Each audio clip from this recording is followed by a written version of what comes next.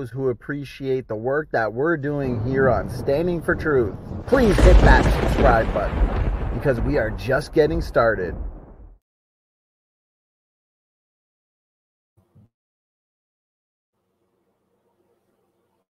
Okay, looks like we are live, guys. And this is an extremely exciting event that we have today. We have Michael J. Oard with us for a presentation titled Astounding Evidence for Noah's Flood. We will also be having a question and answer period, okay, following the presentation. Please share around. I promise you this is going to be one to remember. Um, the question and answer is, is going to be not only from us as the hosts, I've got George here as well. Um, but also from our awesome audience today. So please make sure you are tagging me at Standing for Truth or at George Bond just to make sure that we see your questions and we can save them for Mike.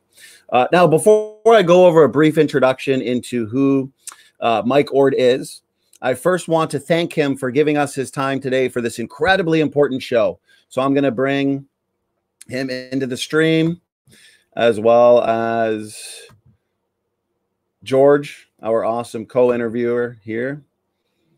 Mike, thanks so much for uh, being so generous with your time and, and, and giving your, us your time today.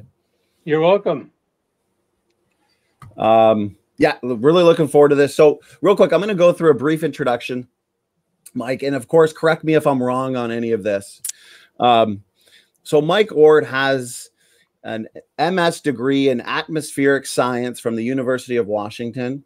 After 30 years as a meteorologist with the U.S. National Weather Service, he retired and now is fully devoted to research on the compelling evidence for Noah's flood and the post flood ice age. He has done considerable study on the woolly mammoths in light of Noah's flood and the ice age.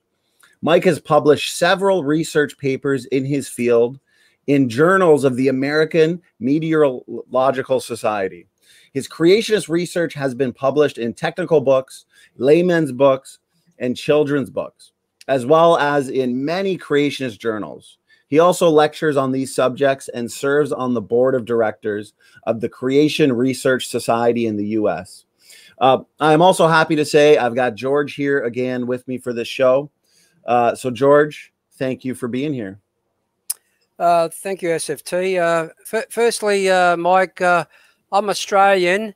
We don't have an accent. You guys have an accent. okay. uh, firstly, I want to point out that the information provided by SFT uh, can be found in the description box. I urge you all to um, go and have a look at it. There, there are some links there to his uh, Genesis website, I believe, uh, his own website, and many others. As we said, his website uh, is linked in the description box. So please um, have a have a look. Uh, he he has a number of books uh, and videos which are which are excellent, by the way. I, I uh, SFT and I have uh, read uh, some of his papers and watched watched his uh, videos on YouTube. He, he's a wealth of knowledge, especially in the area of the Ice Age, coming from the MS degree in atmospheric science. Mike. Um, we like to be a little bit uh, light-hearted on this uh, channel, and we like to start with a few jokes. So I hope I, I don't turn you off by, by, by some of them. Okay. Okay. Okay. I'll, I'll start off with the first one. If if you were free, if you were in a freezing room and want to stay warm and comfortable, you should always stick to the corners because they are all 90 degrees. Good. I never heard that one before. Oh well, I hope you I've haven't never heard, heard this that one. one either. That's, someone told me I, I can associate with this one. By the way, someone told me I could make ice cubes out of leftover wine, but but I'm confused. What is leftover wine? anyway, I, I, hope I haven't discouraged you now. You you must be thinking, what on earth have I got myself into? So I'll, I'll give I'll give it over to you, Mike. So uh, yeah, uh, I, I, believe you've got a fantastic presentation for us, and uh, I think SFT will share your screen and uh, and and let's go. Okay. Yes, let me get your screen going, Mike. Okay. Okay. Here, Here we are. Am I good to go? Yep. You're all good to go, Mike. Screen looks like Okay, my good. topic is uh, Noah's flood. Actually, an issue I've been working on for 45 years doing research, besides the Ice Age. Anyway, um, this title is Astounding Evidence for Noah's Flood. What I'm going to give you is just uh, a summary and just the highlights of the summary of uh, all the details you can fit into the uh, what can be called as the flood model. But you know, there's a lot of secular researchers and even uh, some Christian geology professors who say there isn't any evidence uh, for the flood. Here's one from Davis Young, retired professor of geology from Calvin College, in, in a book titled, of all things, The Biblical Flood. He says, there is no geological evidence to confirm the idea of a universal deluge. Boy, isn't that an amazing thing?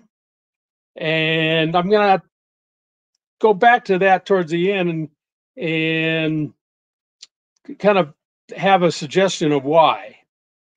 This I'm going to talk for but maybe about 45 minutes an hour and I'm going to open it up to questions and go from there anyway, um, when I hear challenges like that, and by the way, I try to keep up with 50 earth science journals in the local library here at Montana State University. And uh, I run into challenges all the time in the earth science, but I see them as just research opportunities. But when I look at these secular articles, I glean the the raw observational data from their interpretations and I separate them. I'm looking for the real raw data. That's the science that I'm looking for. And I go from there. Anyway, this is my theme verse for research. It's a good theme verse for all of life. Examine everything carefully, hold fast to that which is good. 1 Thessalonians 5:21, New American Standard Version. I can't emphasize carefully enough because if you examine an issue just superficially, you might know enough just to get into trouble. You got to go carefully, dig. So I dig into the, the the research, and then that's how I from there I write my articles and uh, books. So anyway, I want to start with this graph. When we're talking about the flood, I want to first of all say a little bit about what was the pre-flood world like uh, before the flood. and we have some clues, not only from the Bible, but from geology and the fossils. One big clue is that the estimated amount of coal in the earth is about 10 times the amount of carbon in the than in the current biosphere, meaning that we probably had about 10 times as many uh, plants and trees on the pre-flood earth and there's hardly any frost rings, if any. Um, so it's a warm climate with a huge amount of vegetation uh, before the flood. And um, the interesting thing about vegetation is it gives off water vapor, transpiration. 10% of the rain we get on the continents is from uh, transpiration uh, through the leaves of trees. And so they'd add a lot of water vapor to the pre-flood earth so we can from that, we know we're going to have a, a pretty good greenhouse effect, and uh, we need to water all that. So we had a different hydrology. Um, there's a question whether it rained before the flood. I kind of lean that it did, even though the uh, it's uncertain from the Bible. And um, I, I must say that we don't know what the geography was before the flood, and the topography. That they were both much different. So we don't know those things. Uh, one thing from my field, it does uh, doesn't look like there's a vapor canopy, as some people thought in the early days of uh, creation research, uh, due to the research of Larry Vardiman. Uh, it'd be too hot on the surface of the earth. It's plain and simple, and so that's a big problem.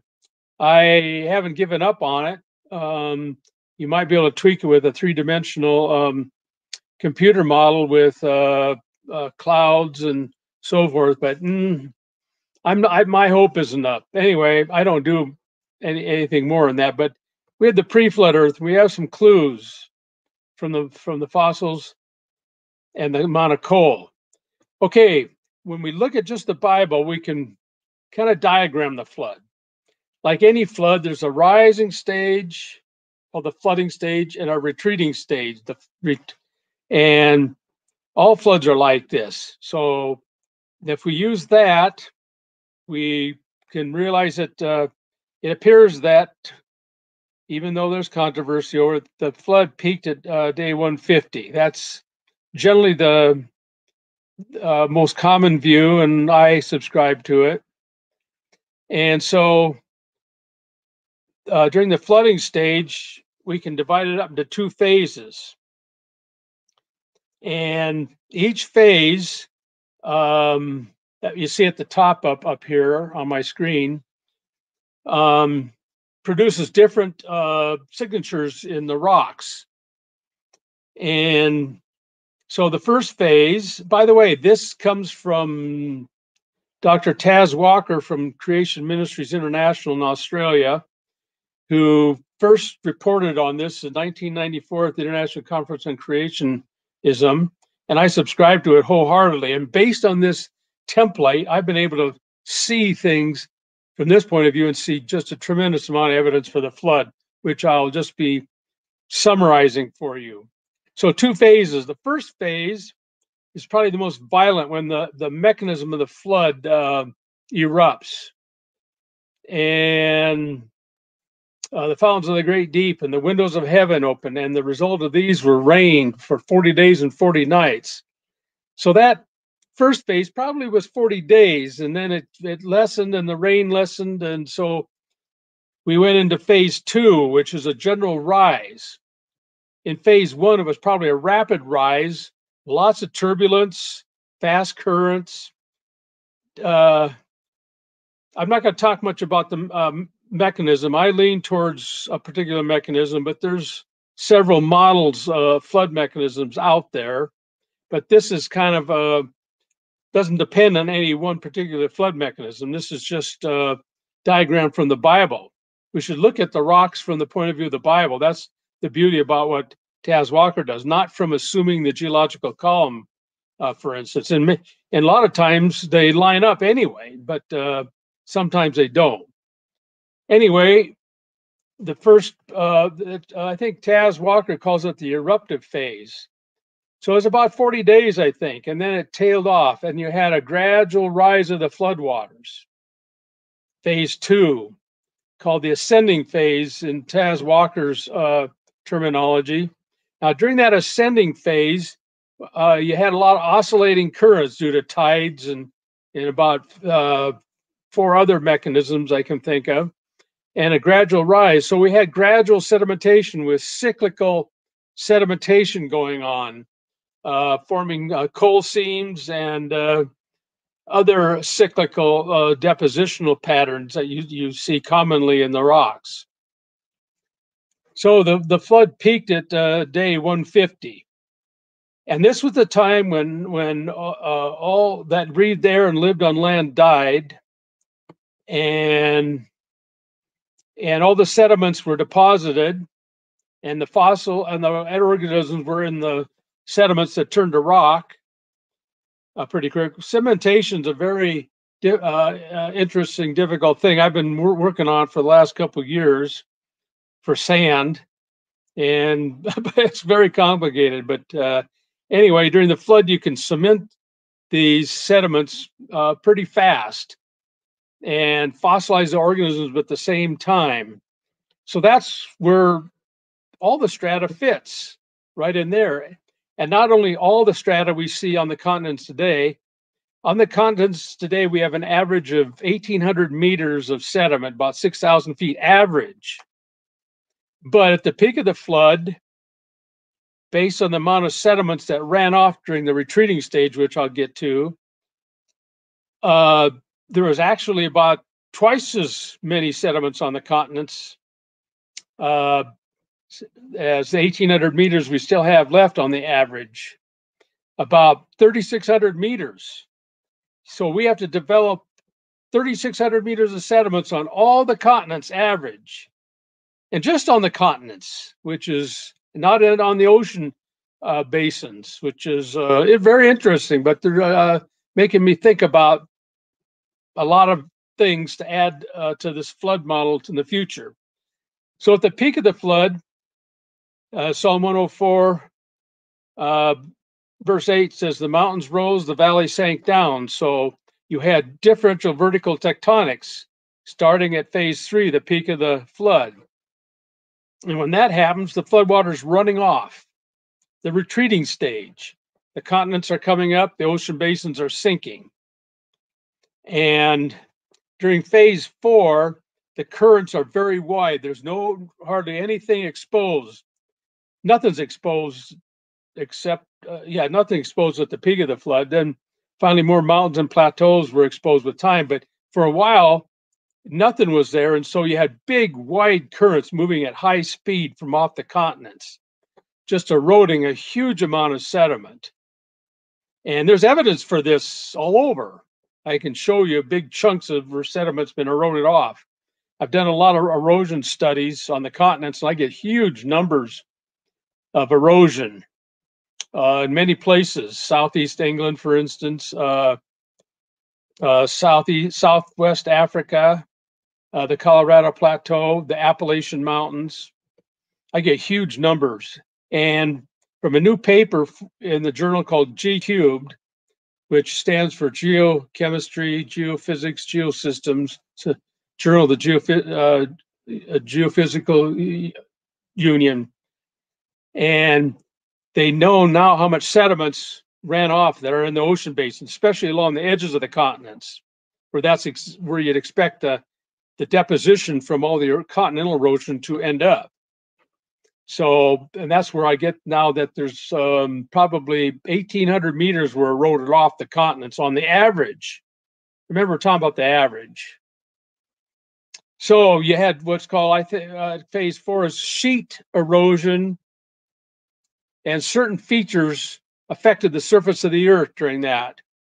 And from the, the field of geomorphology, the study of the surface features of the earth and landforms, we can see these features, what happened during what's called the sheet flow phase. Sheet flow means uh, big, wide currents and not very deep, kind of the consistency of a sheet. Like a current might be 2,000 kilometers wide and 10 kilometers deep. So it's very wide and not very deep. It's a, like a sheet. So you had sheet flow eroding as a sheet, the uh, sediments, and depositing them as a sheet along, uh, along the continental margins uh, that are now the continental shelf and slope. And then as more mountains and, and valleys are show up above the floodwaters, the floodwaters are forced to channelize, go around these and, and they mark the surface of the land with different landforms due to channelized erosion during phase five. And I'm going to show you examples of all these phases uh, now from now on. Anyway, uh, I, these are slides from a talk I normally give, but I'm skipping number one. This is evidence from strata, which is a geological jargon for sedimentary rocks. So a good place to see strata is Grand Canyon, uh, mile deep cut in the earth. And you see the strata. It's about a mile deep or uh, 5,000 kilometers, uh, 5,000 meters deep. And you see, notice several things here. You see these form, uh, what they call formations, rocks that are, are similar, and you can trace them for mostly across the, the 200 and some odd miles of the canyon.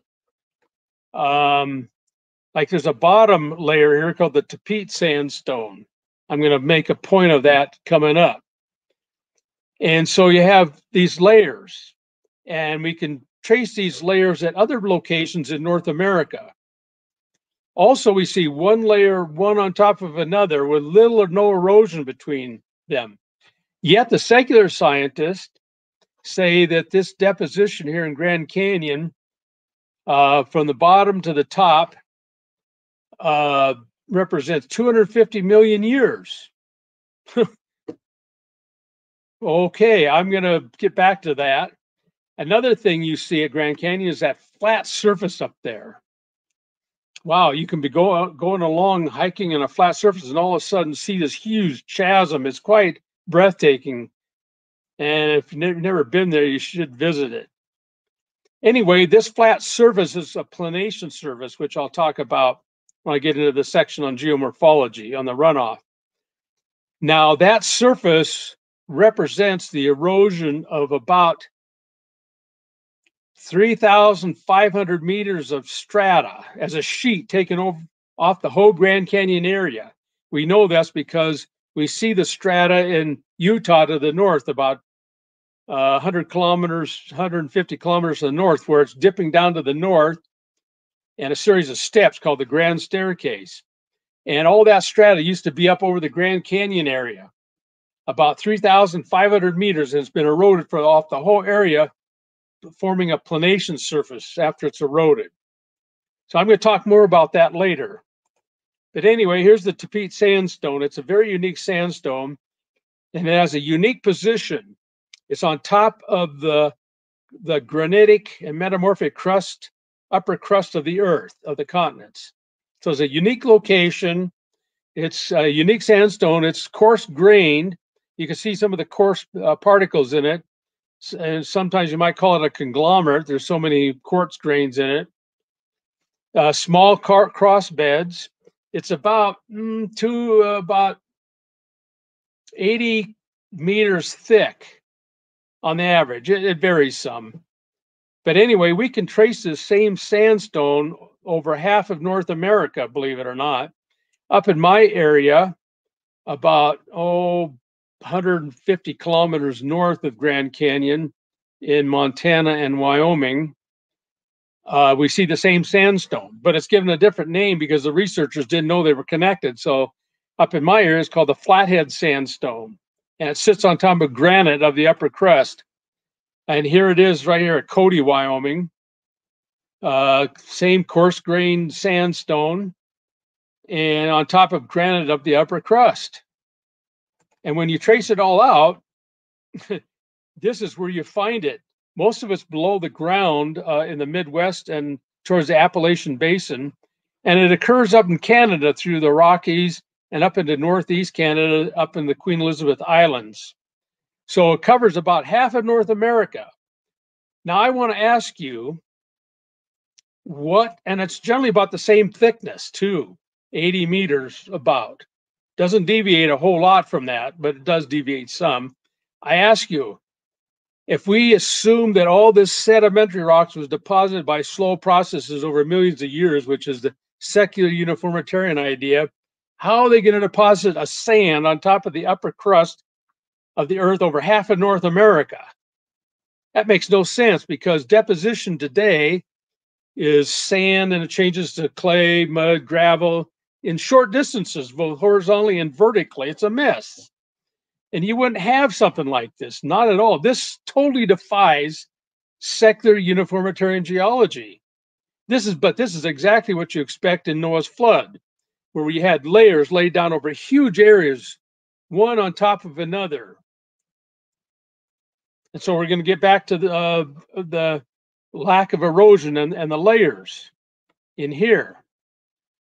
5,000 5, feet or about um, uh, 2,000 meters or so, something like that, eight, uh, 1,700 of, of sediments. They say 250 million years. But you know, erosion on a million year time scale is huge. So huge that all the continents can be eroded to sea level in only 10 million years at today's rate. But there's some caveats on that because man has caused some of this erosion, so you got to deal with that. And as the mountains decrease in height, you, the erosion rate decreases too. But it does not include coastal erosion, which is generally about seven meters a year along the Arctic coast. But you can put a maximum on this of 50 million years to wipe out the continents to sea level. If erosion is that fast, then where's all the evidence of canyons and valleys in the walls of Grand Canyon? they're not there, indicating that one layer is laid rapidly, one on top of another, with no millions of years involved at all. So here's a little schematic of the Grand Canyon. Let's say this is just um, for a million years. And here we have the bedrock of the upper crust, and we have four layers deposited over the whole Grand Canyon area, 200 and some odd miles. Then we'll give it, say, 100,000 years of time, and this is what would happen. You erode valleys and ridges. And then suddenly it will say it dropped below the sea, and you had more layers deposited. It'd fill up the valleys like this with more layers and then you do it for another 100,000 years exposure, and more valleys are cut, and so forth and so on. This is sort of what you see. If it's just a million years, or maybe just a 100,000 years, you should see huge amount of uh, valleys and canyons in the walls of the Grand Canyon, especially since the uniformitarians claim that these layers, these formations, are a lot of times terrestrial formations or shallow marine formations usually that. And in those environments, you'd expect a lot of canyons and valleys to be cut. But this is normally what we see in the Grand Canyon, generally layers that don't change thickness all the way across, but some layers will change thickness a little, pinch out, few pinch out, and that defies secular science. And we see this pattern everywhere where we see sedimentary rocks. We see layers the deformation or the breaking up of those sedimentary rocks occurred after they were all laid down. Then you had faulting and erosion of them, but they're laid down generally without little deformation at the start. And up in the, the Grand Teton Mountains of Wyoming, um, I had uh, there's I got a book where three geologists admitted this. So here's a sequence of sedimentary rocks right in here, one layer on top of another. That's the top of Grand Teton Mountain, which is uh, uh, gran granitic or gneiss uh, that's been bowed up, but on the north and south edges, the sedimentary rocks were not washed off. And here's a thickness of about 3,000 feet or about 900 meters. That is almost the same as in the Grand Canyon a thousand kilometers to the south, same sedimentary rocks up here. And there's one layer right after another. This represents maybe about 190 million years in the secular time scale. Anyway, um, these three geologists in this book, uh, uh, The Chronicles of Jackson Hole and the Teton Range, said the regularity and parallelism of the layers in well exposed sections that I just showed you a picture of suggests that all these rocks were deposited in what? A single uninterrupted sequence. Yes, that's what they that's what they say. That's what it's uh, you look like. That's what we observe.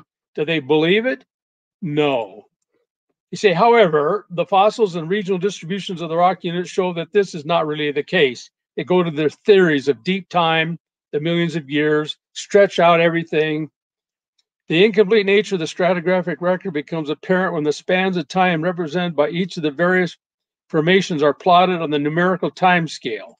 And this is their time scale. Most of it's missing time. The blue is is the time for the formations. And here's the formation names up here. Uh, with uh, here's 80 million years missing. Here's their time scale right here, 500 million up to 300 there.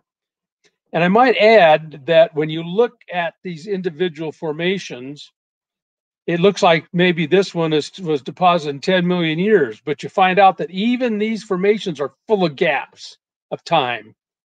So you should see little uh, white areas all through these formations so that when you add it all up, and, and secular scientists admitted that, they only have 1% of the record of time, 1% about. The rest, 99%, is totally missing. And the important thing is there's no erosion between these layers over uh, about 180 million years. The flathead sandstone being the bottom formation in the Cambrian, on top of the Proterozoic um, uh, granites and gneiss of the upper crust. So, evidence from fossils. Now, I might add that uh, when we talk about Grand Canyon, I put the deposition of Grand Canyon and practically all the sedimentary rocks in phase two. I believe phase one, the, when the mechanism was unleashing turbulence and a lot of chaos, but not all, not everywhere, uh, that you form deep basins. And so the only sedimentation that occurred during phase one, I believe, was in deep basins, forming your Precambrian sedimentary rocks, which I have come to believe are from the flood. Why? Because up in my area, here in uh, the northern Rockies of Montana, I'm privileged to be next to one of the biggest Precambrian formations in the world called the Belt Supergroup. And that Precambrian formation, dated 1.5 billion years according to the secular timescale, is conformable to the flathead sandstone right above in numerous places, as if there's no change in sediments. And it's just one big deposition from the, the Precambrian up into the Cambrian and the Ordovician and all the other rocks that you see on top of it. So that's to me pretty good evidence that the Precambrian sedimentary rocks are from the flood. And it's interesting, practically all Precambrian sedimentary rocks are found in what were used to be basins, deep basins, like the Belt Supergroup was deposited in a basin 25 kilometers deep, deep, big hole. I think it's an impact crater. And so do two other secular scientists, filled up rapidly with sediments coming from the west off the current Pacific Ocean, I might add. A lot of details can be filled in, and I'm kind of doing this as I go because there's a lot more research. I'm just giving you a quickie summary.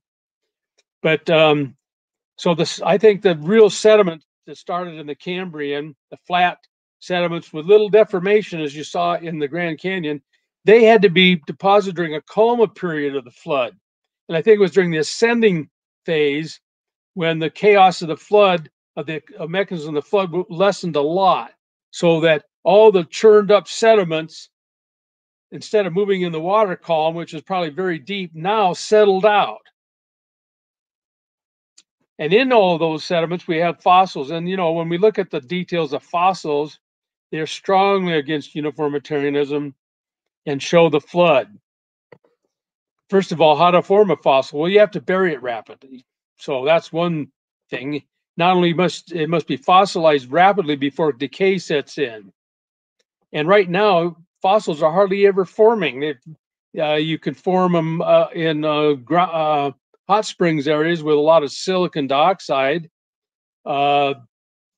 But even that that is rare. There's hardly any fossils being formed up near Yellowstone Park, where I live near, due to all the hot springs and the silica and carbonate in those hot springs.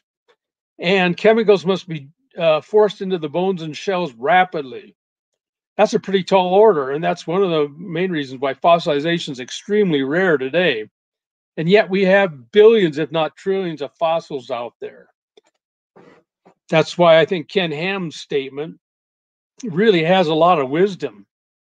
He says billions of dead things buried in rock layers laid down by water all over the earth, evidence for the flood. It's exactly what we see. And not slow process of, of deposition. You can't form fossils that way. And we have these monstrous fossil graveyards. Here's a unique fossil graveyard from Venezuela of ammonite fossils. And then up in my area, we have a lot of dinosaur graveyards. Uh, north north of me, about oh, 150 kilometers is a graveyard of 10,000 duck-billed dinosaurs, all of the same species, I might add, with hardly with no babies or young juveniles, all older adults and older juveniles, which is an unusual feature. There's a number of unusual features on that dinosaur bone bed. But there's a number of other bone beds in Alberta and some in Wyoming. There's lots of dinosaurs around here. That's why I've written one children's book on dinosaurs and one uh, layman's book on on dinosaurs. And we also have uh, indications of rapid fossilization, fish eating fish in various locations, and an ichthyosaur that was fossilized in the process of giving birth. So these are indications of rapid deposition. but one of the strongest evidence of rapid deposition all over the world are mollusks. 95% of fossils are mollusks, like clams, and that'll include uh, brachiopods and uh, oysters. And anyway, it's interesting. Most mollusk shells, when you find them as fossils, are closed. But when a mollusk dies, the muscles that that that keep the shell closed detach and it opens up quickly and it decays because even the shell is made of partly organic matter. So it doesn't take it takes days, maybe weeks for the shell to open up. The fact that we have so many closed shelled mollusks all over the world indicates rapid deposition globally. And here's a, a sample from Washington State, where I was raised, uh, Seattle, Washington. And uh, these are clams, brachiopods, and oysters found in just fossils in Washington State. Okay, now we're going to transition to evidence from geomorphology, the study of the surface uh, features of the Earth. There's a whole lot of surface features that defy uniformitarianism. They can't explain them. And let's go back to this diagram. I've talked about mainly, especially phase, uh, phase two. That's where most of the deposition occurred on the continents, and even twice as much as we see, as I found out. And by the way, this is a recent uh, discovery I made about the amount of sediments that were eroded off. But we're going to transition to the retreating stage. The waters are running off the continents. The continents are rising, the ocean basin's sinking. Just think of the potential energy where you have water pushed up and then water going down. You can have tremendous movement of the currents and causing tremendous erosion, which we infer from a lot of uh, indications in the sedimentary rocks. There's a lot of ways to determine the amount of erosion, and I'm working on one research project that we hope to send out to the Creation Research Society here soon on the cementation of sandstones that give you an indication how much pressure of sediments were above that were eroded to uh, explain the thin section uh, analysis of these sandstones. So the retreating stage. So I'm going to start with phase four. And I'm not going to talk about all the evidence for the mountains rising, the valley sinking down. Lots of evidence for that. So that's a whole different subject, but we'll just transform into the landforms, the geomorphology part of, of it. So phase four. So here's a block diagram I made quite a long time ago when I didn't know how much sediment eroded off. And here's the peak of the flood at day 150 would be this area up in here. And this represents all the eroded uh, strata retreating stage erosion. This is the current continental surface with a nice dinosaur fossil there at the top. And this is the current continental sedimentary rocks, 1,800 meters average. So I figured this is maybe 500 meters, even though I, in a lot of areas I was getting some big numbers. There's a lot of areas that look like they weren't eroded a huge amount. We don't know because there's no there's no erosional remnants or eroded anticlines to um, determine how much erosion. But there's other ways. This is we can tell from sandstone and the rank of coal uh, generally too. And, and Peter Klevberg at Great Falls, Montana, and myself are working on the, this topic. But because of this new paper I discovered a couple of months ago in the, the scientific literature, this should go up as, as high as this right here the amount eroded is the same as, as that, approximately the same as that left. Not 500 meters, but 1,800 meters were eroded off the continents. Wow. That is, is huge. And as it eroded, it, it uh, left on the surface of the continents that we can see today various features of this erosion that the secular scientists cannot explain, even though they've been trying for at least 150 years. So the first one we're talking about is planation surfaces. I showed you that one in the Grand Canyon area. I think I might have another picture of it here, unless I deleted uh, deleted it. I have lots of pictures of planation surfaces. So let's first of all define what a planation surface is. I have to talk go to an erosion surface. Erosion surface is in the uh, dictionary of geological terms a land surface shaped and subdued by the action of erosion, which is really uh, not saying too much, but especially by running water. What they're telling us is that the land surface has been uh, shaped by erosion by running water. Oh, and that's kind of sounding like runoff of the floodwaters. Why do they say running water? Because a lot of these planation surfaces have rounded rocks on the top of them, left over after they rounded the rocks. And as the current slowed, it deposited what uh, stones that were being used to erode the surface. Rounded raw. I'll show you some pictures of all this. The term erosion surface is generally applied to a level or nearly level surface. Now, erosion surfaces can, can be kind of rolling, but a planation surface is generally dead flat, almost flat as a pancake. And I'm going to just mainly talk about planation surfaces because they're more so distinct. And here's one in uh, north central Wyoming in the the Bighorn Basin, which is about 100, uh, 200 uh, kilometers north south and about 100 kilometers east west. This is the northern part. You can see this sedimentary rocks dipping to the west. That's to the right here. I'm looking south. It used to probably be a, a area bowed up there and just sh sheared off, forming a planation surface and forming about 15 feet of rounded rocks, which are over here too. It continues over here but it's been dissected by either late flood channelized erosion and or post flood river erosion. So it leaves this as uh, as a, a, small erosion surface. So up in my area and in adjacent Canada, it's uh, the plains are cons- consist of about four levels of planation surface in relation to the Rocky Mountains which are over here to the west. This is the high plains of Alberta, Saskatchewan, northern Montana, part of, nor- of North Dakota. And it has generally four levels. We found out it was a simplification because this level right here, called the Wood Mountain Plateau, is in between the top and the second from the top, this green area.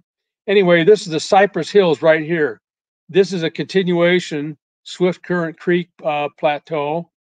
I want, I'm going to emphasize mainly the Cypress Hills Plateau because it's the highest one.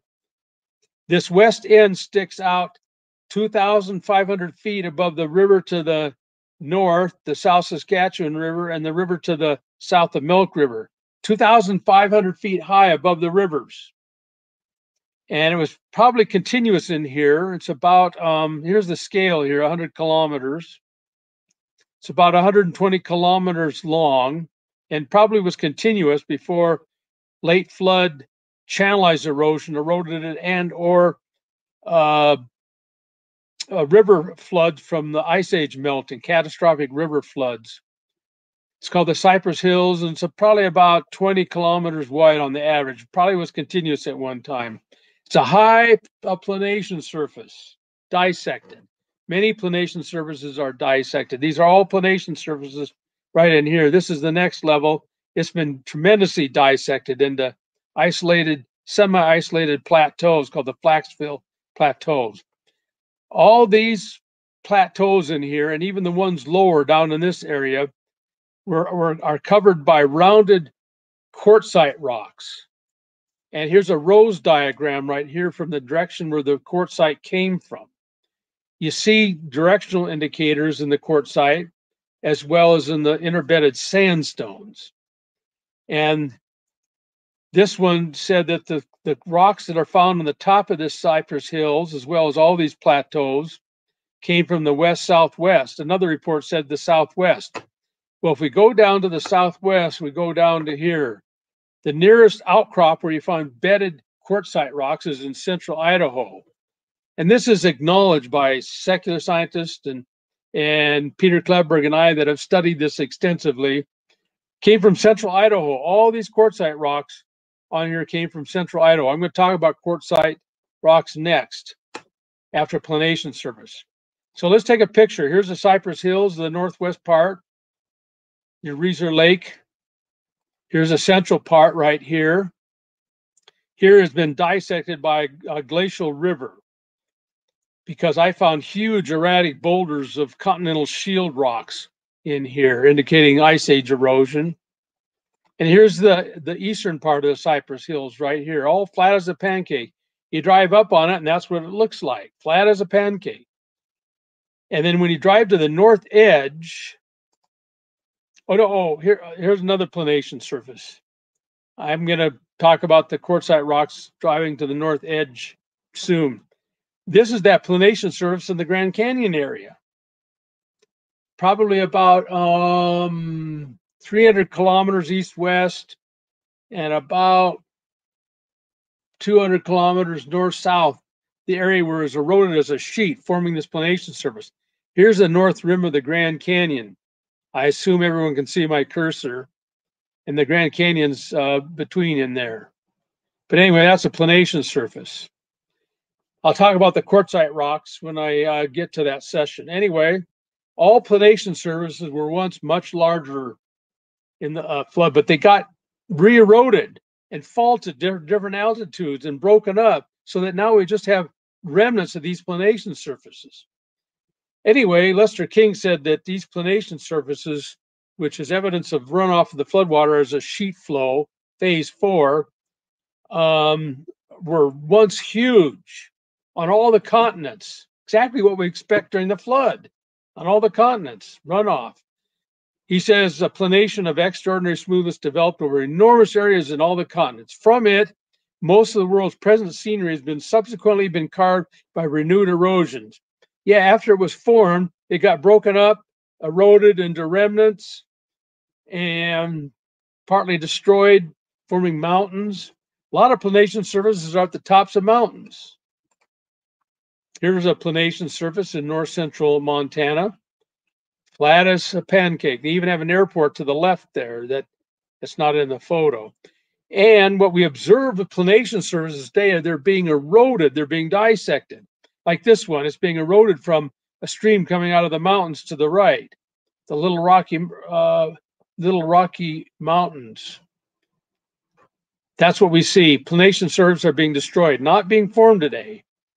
And here's what we expect based on uniformitarian erosion.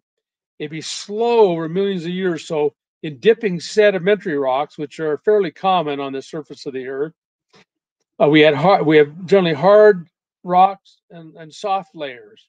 The hard layers would end up as ridges, and the soft layers would get be eroded with some of the erosion material left in the valley, unconsolidated sediment. That's what we should see everywhere if uniformitarianism is true. We should see no planation surfaces because they're not forming today. Except where a river will come out of its bank and erode tilted rocks and, and can form a flat surface, but that's only local, very local. So we don't see that uh, this today. Well, actually, we do see a little bit of this, and this can be formed by slow currents but this is commonly what we see. Both hard and soft rocks sheared off the same, implying a very fast current, leaving rounded uh, cobbles and boulders on the top. That's commonly what we see.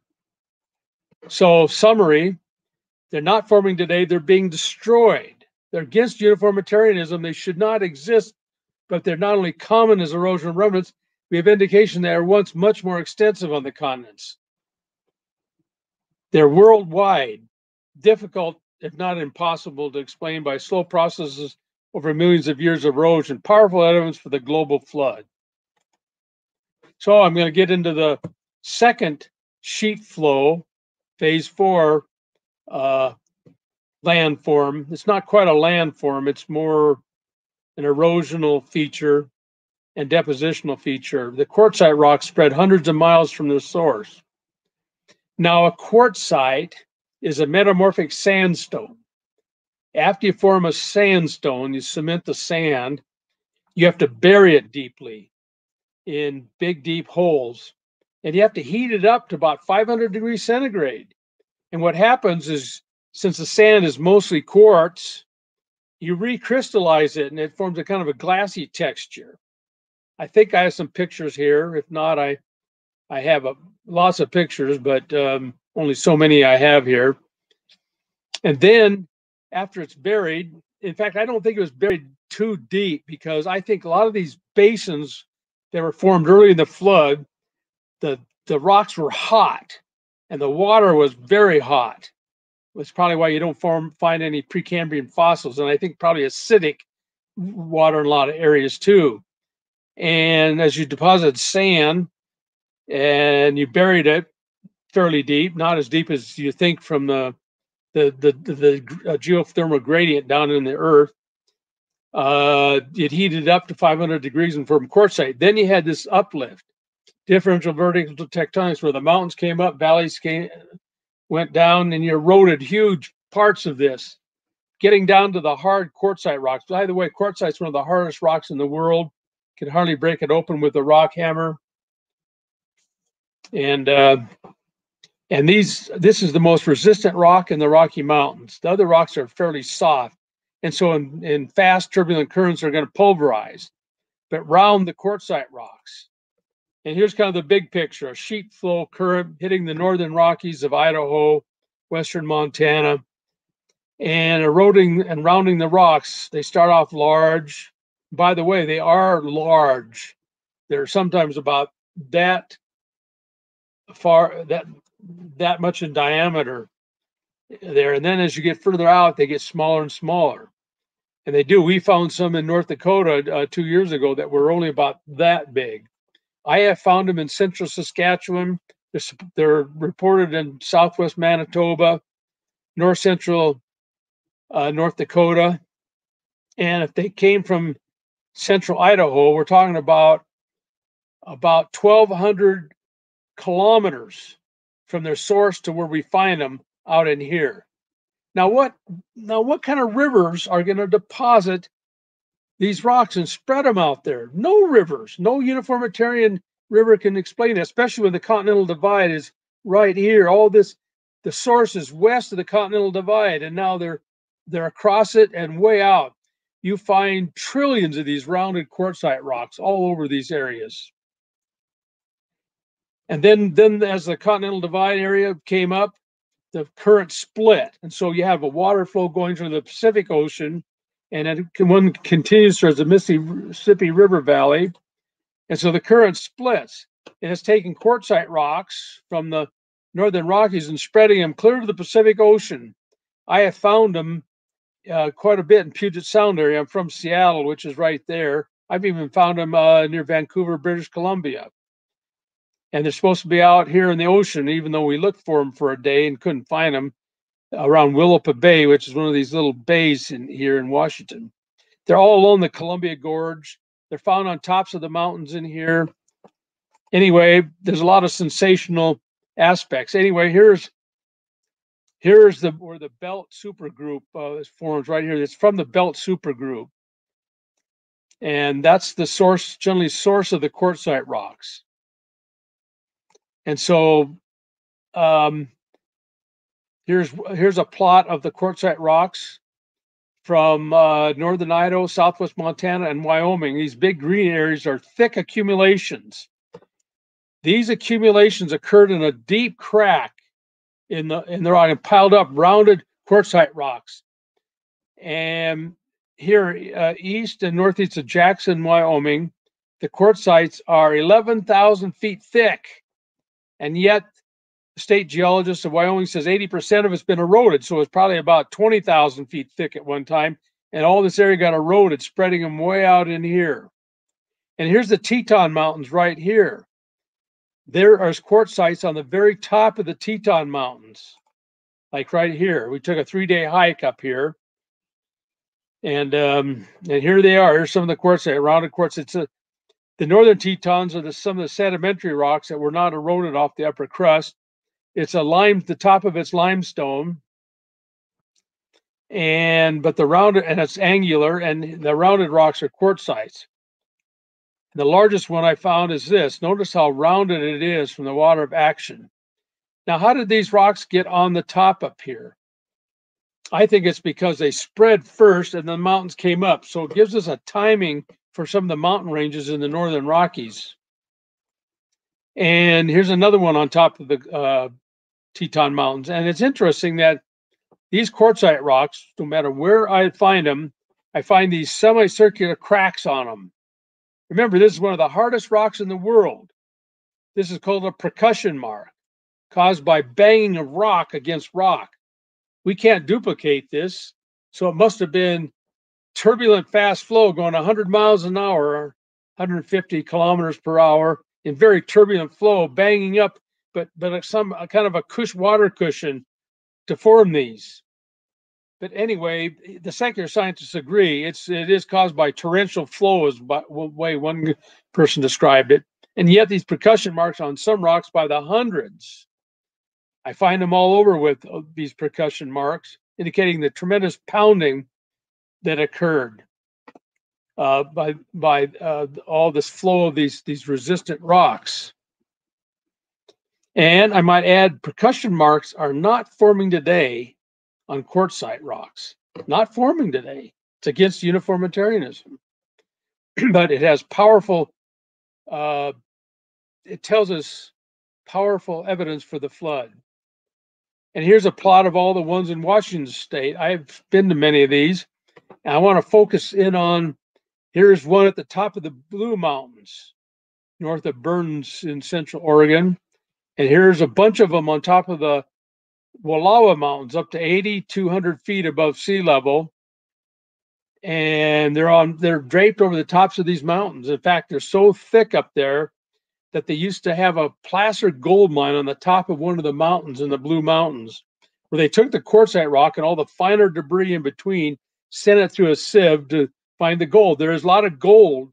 In fact, this hill right here is called Gold Hill because there's a lot of gold that is in with the finer particles in the quartzites. But they had to shut the mine down because it became a wilderness area. anyway, and oh, by the way, I found them uh, numerous places in the Puget Sound area, even on the San Juan Islands, and up here uh, near Chilliwack, uh, British Columbia. And here's pictures. This is 8,200 feet on top of the Wallowa Mountains on a ridge. This is the quartzites right here on the top of this ridge. It's supposed to be one a meter in diameter, but I never found it. It's probably in this snowbank. And but this is the largest one I found. The nearest source of quartzite quartzites 100 miles to the east across what is now Hell's Canyon, the deepest canyon in North America, even deeper than Grand Canyon, I might add. It's 8,000 feet deep on the Idaho side and 6,000 feet on the Oregon side, and it's about 50 miles long. So you can see some of the finds where the gold is found right in here, but that's the largest. That takes a tremendous current to do that. And look at how rounded and polished it is. And I'm going to the Cypress Hills now. All these planation surfaces and ones I don't show here at lower altitudes are capped by quartzite. And this is the quartzite below this, uh, uh, the gravel of the of, of the of the uh, glacial till glaciation out in this blue formation right here. Here's the Cypress Hills. This is it's capped by 75 feet of rounded rocks cemented together, forming a conglomerate. I'm here on the north edge of the Cypress Hills, looking down at the next planation surface, uh, which is a thousand feet below me. You can of, kind of see what it's capped by rounded rocks on a high plateau, indicating that this plateau probably was very extensive north and south, east and west, and then it got eroded all around, just leaving the Cypress Hills an erosional remnant. Tremendous action and evidence of the flood, huge catastrophism. Here's a more uh, close up of those rounded rocks. There you go. You know, uh, I find a lot of them are iron stained, so this must have been a, a, a lot of iron in the water, probably hot water, so that the iron uh, would stay in the water, and it coats a lot of these uh, as a patina on these uh, quartzite rocks. And here's some percussion marks that are really big on this quartzite right here. Here's the, the big picture. You had currents running off the Rocky Mountains. The Rockies were coming up and it was eroding all the plains area. And it was eroding the plains. It deposited the quartzite rocks. Now, the medium sized rocks were carried up in the yeah, suspension, come crashing down, forming the planation, uh, I mean, the percussion marks. The larger rocks were carried along the surface, eroding the surface down. That's what does the erosion. They call them tools, geological jargon. And they erode the surface and after the current wanes, it leaves a capping of these rounded rocks. That's how come you have 75 feet on the Cypress Hills. And we and based on uh, civil engineering equations, open channel flow equations, we can put some min minimum currents to these. A six-inch bullet wide uh, rock, which is uh, like this round and and like the shape of a bullet, we figures this is the largest rock carried up in suspension and come crashing down and implies currents over 65 miles an hour in water depths over 180 feet. So we put some numbers to these things. What are we what is this saying? It's powerful evidence for the runoff of the floodwaters at high speeds, eroding, forming planation surfaces, then eroding those planation surfaces into erosional remnants. Here's a summary of the quartzite they're spread 800 miles east from their source in the, uh, the Western Rockies, west of the Continental Divide. They're spread 400 miles west of the Pacific Ocean. Percussion marks indicate torrential flow. Planation surfaces, long spread of quartzites, percussion marks aren't forming today. Powerful evidence for the flood runoff. So this is the last uh, feature I'm going to talk about, and then I'm going to open to questions and answers. I'm going to shifting to phase five, the more channelized phase where the water is forced to channelize around obstacles, forming more linear valleys and canyons rapidly. And a lot of times superimposed on the on the wide planation surface like a Grand Canyon. You erode the whole area as a sheet, sheet flow, phase four, and then you form Grand Canyon, Zion Canyon, and other canyons in southwest Colorado Plateau during the channelized flow phase. It's it's a it's a great one-two punch, and one superimposed on the other. Exactly what you expect during flood runoff. So I'm only going to talk about one um, landform uh, for the channelized phase, and that's what's called water gaps. A water gap is essentially a gap through a mountain ridge or mountain range or even plateau where the water from a river or stream starts on one side and passes right through through a gorge to the other side. They're called water gaps. And in my area, uh, uh, this is north central Wyoming. Here's a water gap right here through the Rattlesnake Mountains. Yellowstone Park is to the is further to the west that you can't see, or maybe this mountain is part of it. But this is a range of mountains east of Yellowstone.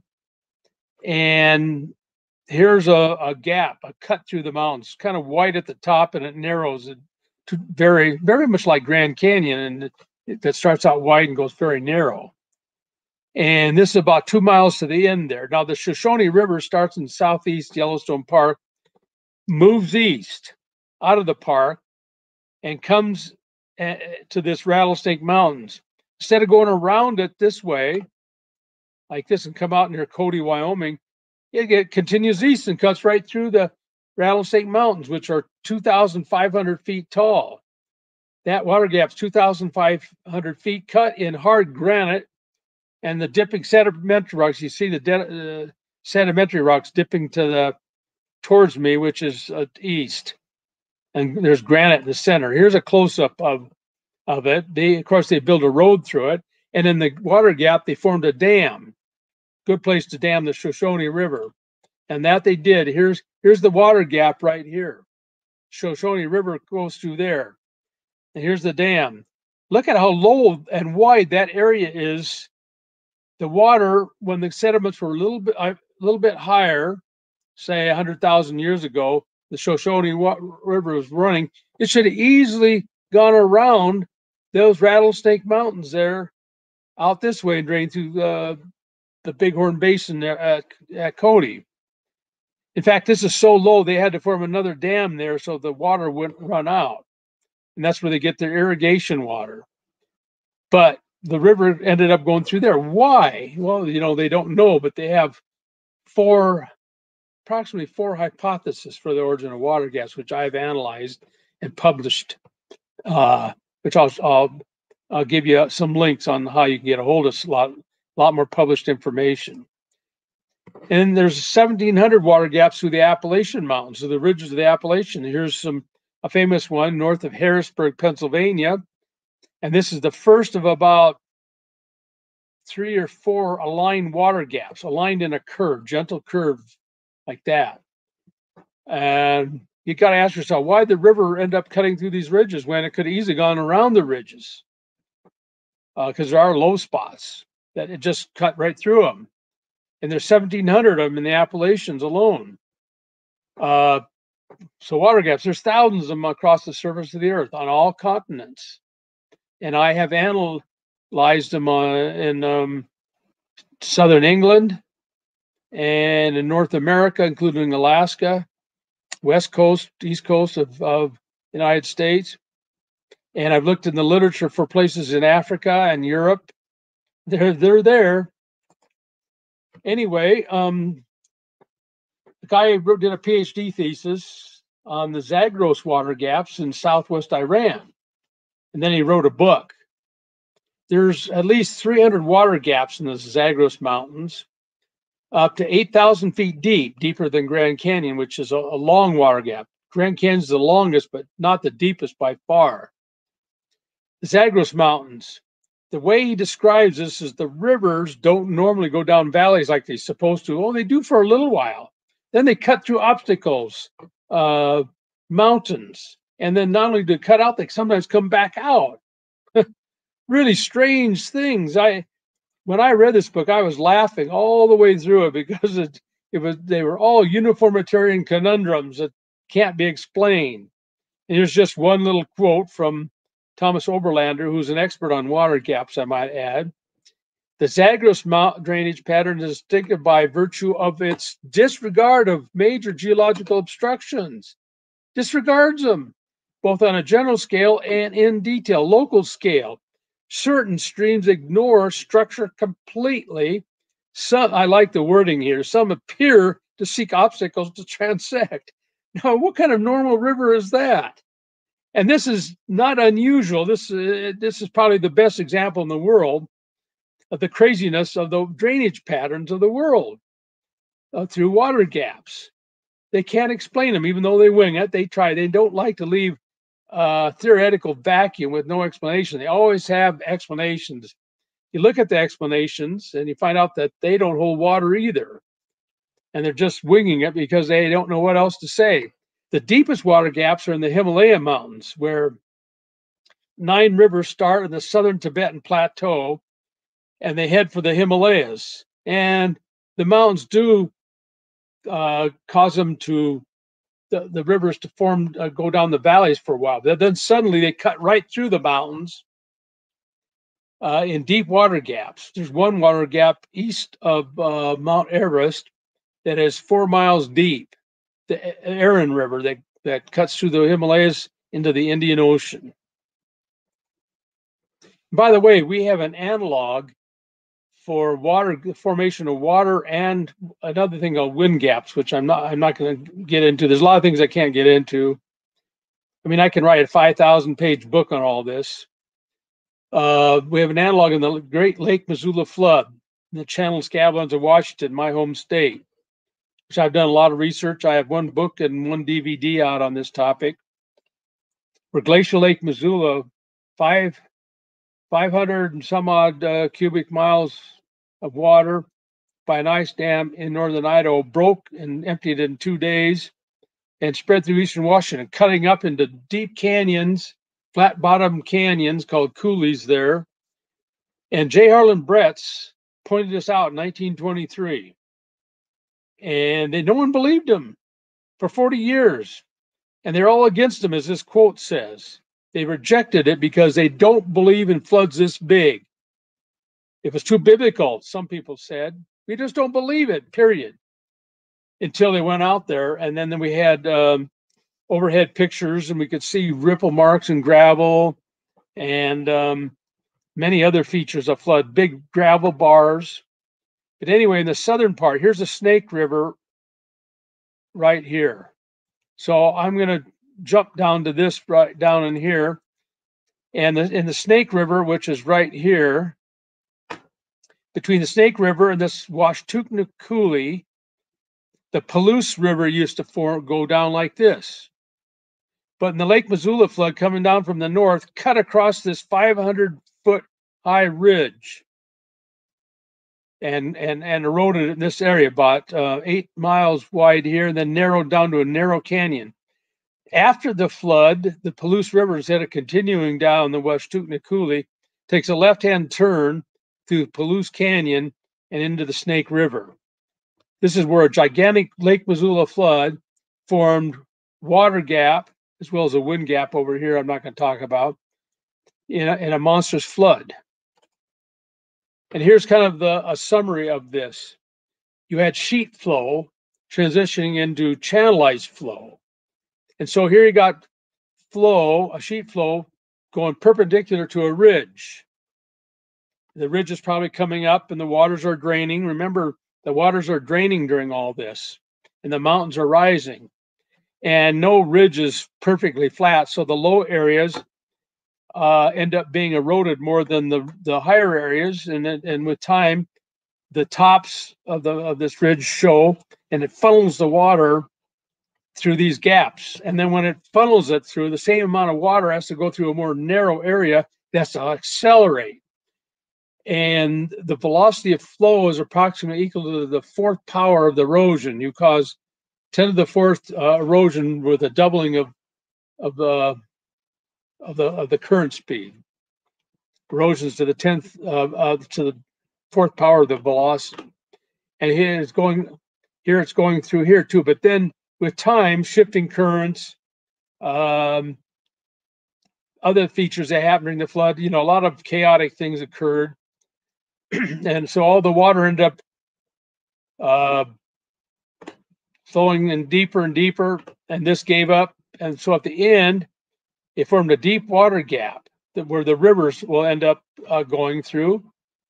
And this left high and dry would be a wind gap, only winds going through it. You find thousands of wind gaps on ridges uh, in the mountains too.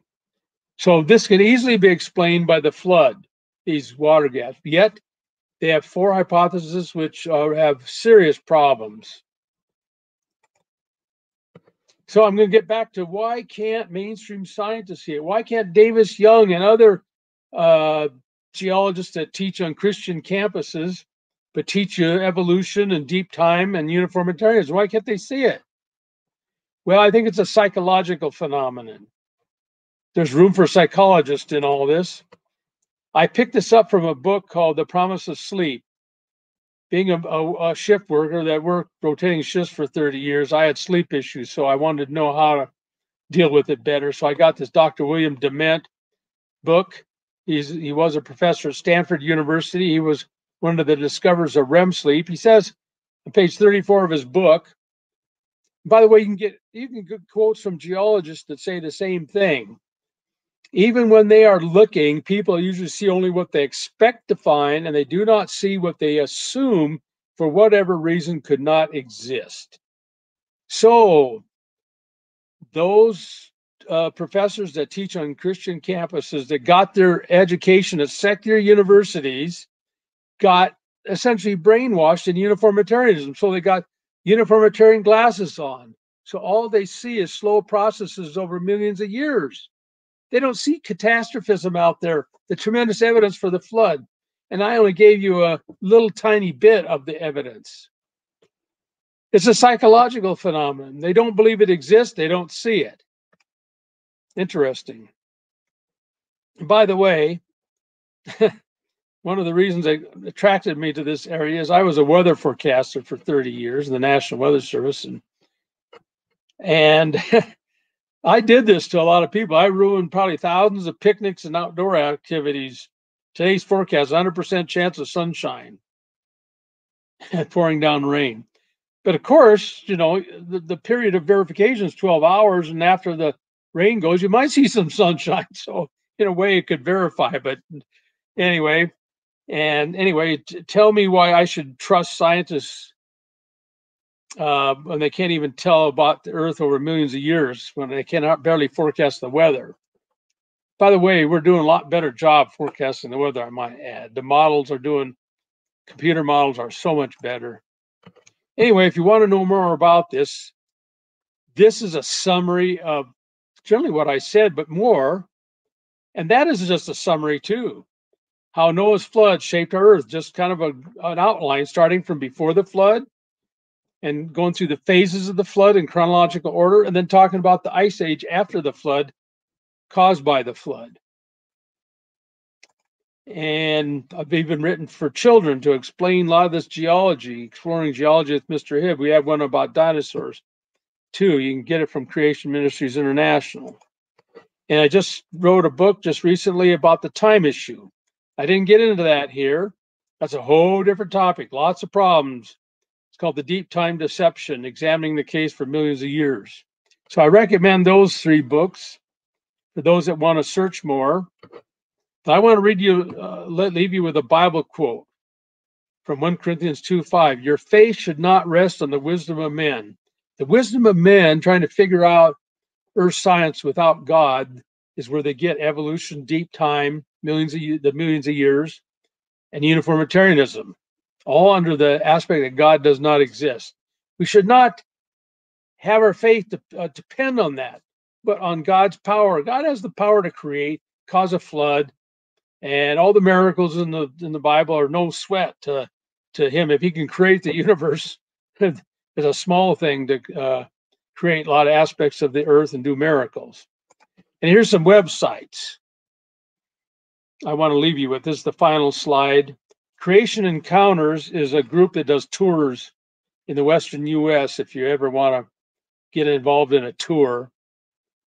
And probably most of you heard of these four major sites. Creation.com is CMI, Creation Ministries International. That's the one I mainly do my research with. But then there's Creation Research Society also do a lot of research. I want to mention my website. On my website, I have two free ebooks in color. I have one about mm, 800 pages, I think, going through what I've just talked about in more detail with color pictures uh, throughout it. And it'll give you a lot more information about the runoff or the res- retreating stage of the flood. Then I got a second ebook on where is the flood post flood boundary. And I go through about 32 evidences that it's you in the late Cenozoic, assuming the geological column, but not any one spot because we can't depend on their precise dating methods. Generally, in the late uh, Cenozoic, which is defined as the Miocene, Pliocene, Pleistocene. And, and every area has to be examined on its own merits. I've seen places where it's probably in the Miocene, and other places it's in the Pleistocene, using the geological column as a template. So now I will open it up to questions, and that's the end. And so. Well, thank you, um, Mike. Let me uh, remove this from the screen real quick. And I, I have to say, that was a Yeah, Looks like you're good. I got to say that was a remarkable presentation. Yeah, well, thank you. You're good. How and, do I get off? Uh, it, I think you're. Yeah, I think it's it's not uh, shared anymore, so you should be good, Mike. Okay. Um, All right, I gotcha. awesome. Uh, let me adjust my mic here, and I mean, just like the title of of your lecture there, there's just so much astounding evidence for the global flood. There is. It, brings me, it's it's it's amazing, and it brings me to Second Peter three, where the scoffers are willingly ignorant of the world that then was being overflowed with water perished. Right. Mm-hmm. I just wanted to say, God bless you for um, all, all your amazing work and, and, research. You know, I, I'm not the only one who, who agrees that uh, I very much uh, appreciate it. And I like the way you ended it. you you pointed out that it is a psychological issue. Mm-hmm. And as you said, you could literally write a, a 10,000 page book on this. I've got a couple here that I'd like to recommend as well. Frozen in Time uh, on the Mammoths. That's a great book. And the Ice. Age. Yes. Yeah, in the Ice Age. This one has been a huge help for me. Rock Solid Answers. Mhm. I think you, you co authored this. So, especially for I the was, audience, uh, we've got uh, on that with John Reed. Um, we got a bunch of creation scientists to give us what, what 14 geological challenges, and we gave answers about detailed, fairly detailed answers, and about an average of 20 pages each. Yes. Yes, I, I felt they were very technical, very detailed answers, and it's it's a book that I that I wish everybody would have on their bookshelf. So, uh, real quick, I, I want to say we've had a lively audience. We've got a ton of questions, ton of great questions. You've answered a lot of questions too, just directly in your uh, in your lecture and presentation there. Um, I hand it over to George. I don't want to dominate the mic, George. Maybe um, we'll have you. You've done a great job gathering the questions, George. Maybe you had a couple comments you wanted to make on the show, and then uh, if you want, you can have the opportunity to ask the first question, George. Oh, th- th- thank you. Um, I'm just going to give you the standard secular sort of answer to this. Sorry, Mike, I'm not convinced. There's no evidence for a global flood. but uh, ser- serious, seriously, I was interested in the mega sequence of the um, sandstone that you've shown, but there are far, far larger uh, sequences than that. And I'm referring to the limestone, which effectively there's evidence for it from uh, England through Europe, the Middle East, through to America, and then even Australia. And that sort of leads me to a question that we pose to most of our guests here, specifically John McKay and some of the other geologists that have that have appeared on our show. Um, they suggest that limestone is predominantly a chemical process. Mhm. We've we've even observed it forming during volcano eruptions. Really? Do you have any do you have any thoughts on this and how possibly the heat could have assisted in this uh, formation? Yeah, limestone, let's see, makes up about 15 to 20% of sedimentary rocks. It's a chemical precipitate. Uh, it's there's a lot of organisms in some limestones, but it mostly looks like it's chem- a chemical precipitate. Um, I must say that uh, right now, since I'm up on all the research, we really don't have a good answer for uh, I'll say carbonates because uh, there's more to just just limestones. There's dolomite, and uh, I'm thinking that there's so much carbonate there around that I think a lot of it are, came from the below the ground in the fountains of the Great Deep.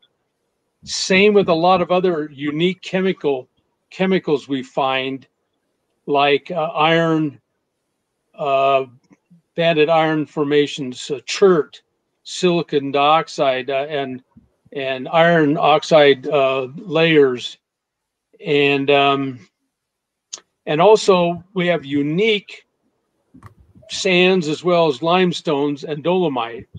And it's interesting that you have a huge amount of carbonates in the Precambrian, and uh, and also dolomite and we don't really secular scientists i don't think they really know where all this comes from but i think it had to come from the below the ground in the in the fountains of the great deep because where else could it come from? Um, i think a lot of other chemicals came from the fountains of the great deep and explain a lot of these unique precambrian uh, formations. This is an area i'm doing research on dolomite which is a calcium magnesium carbonate.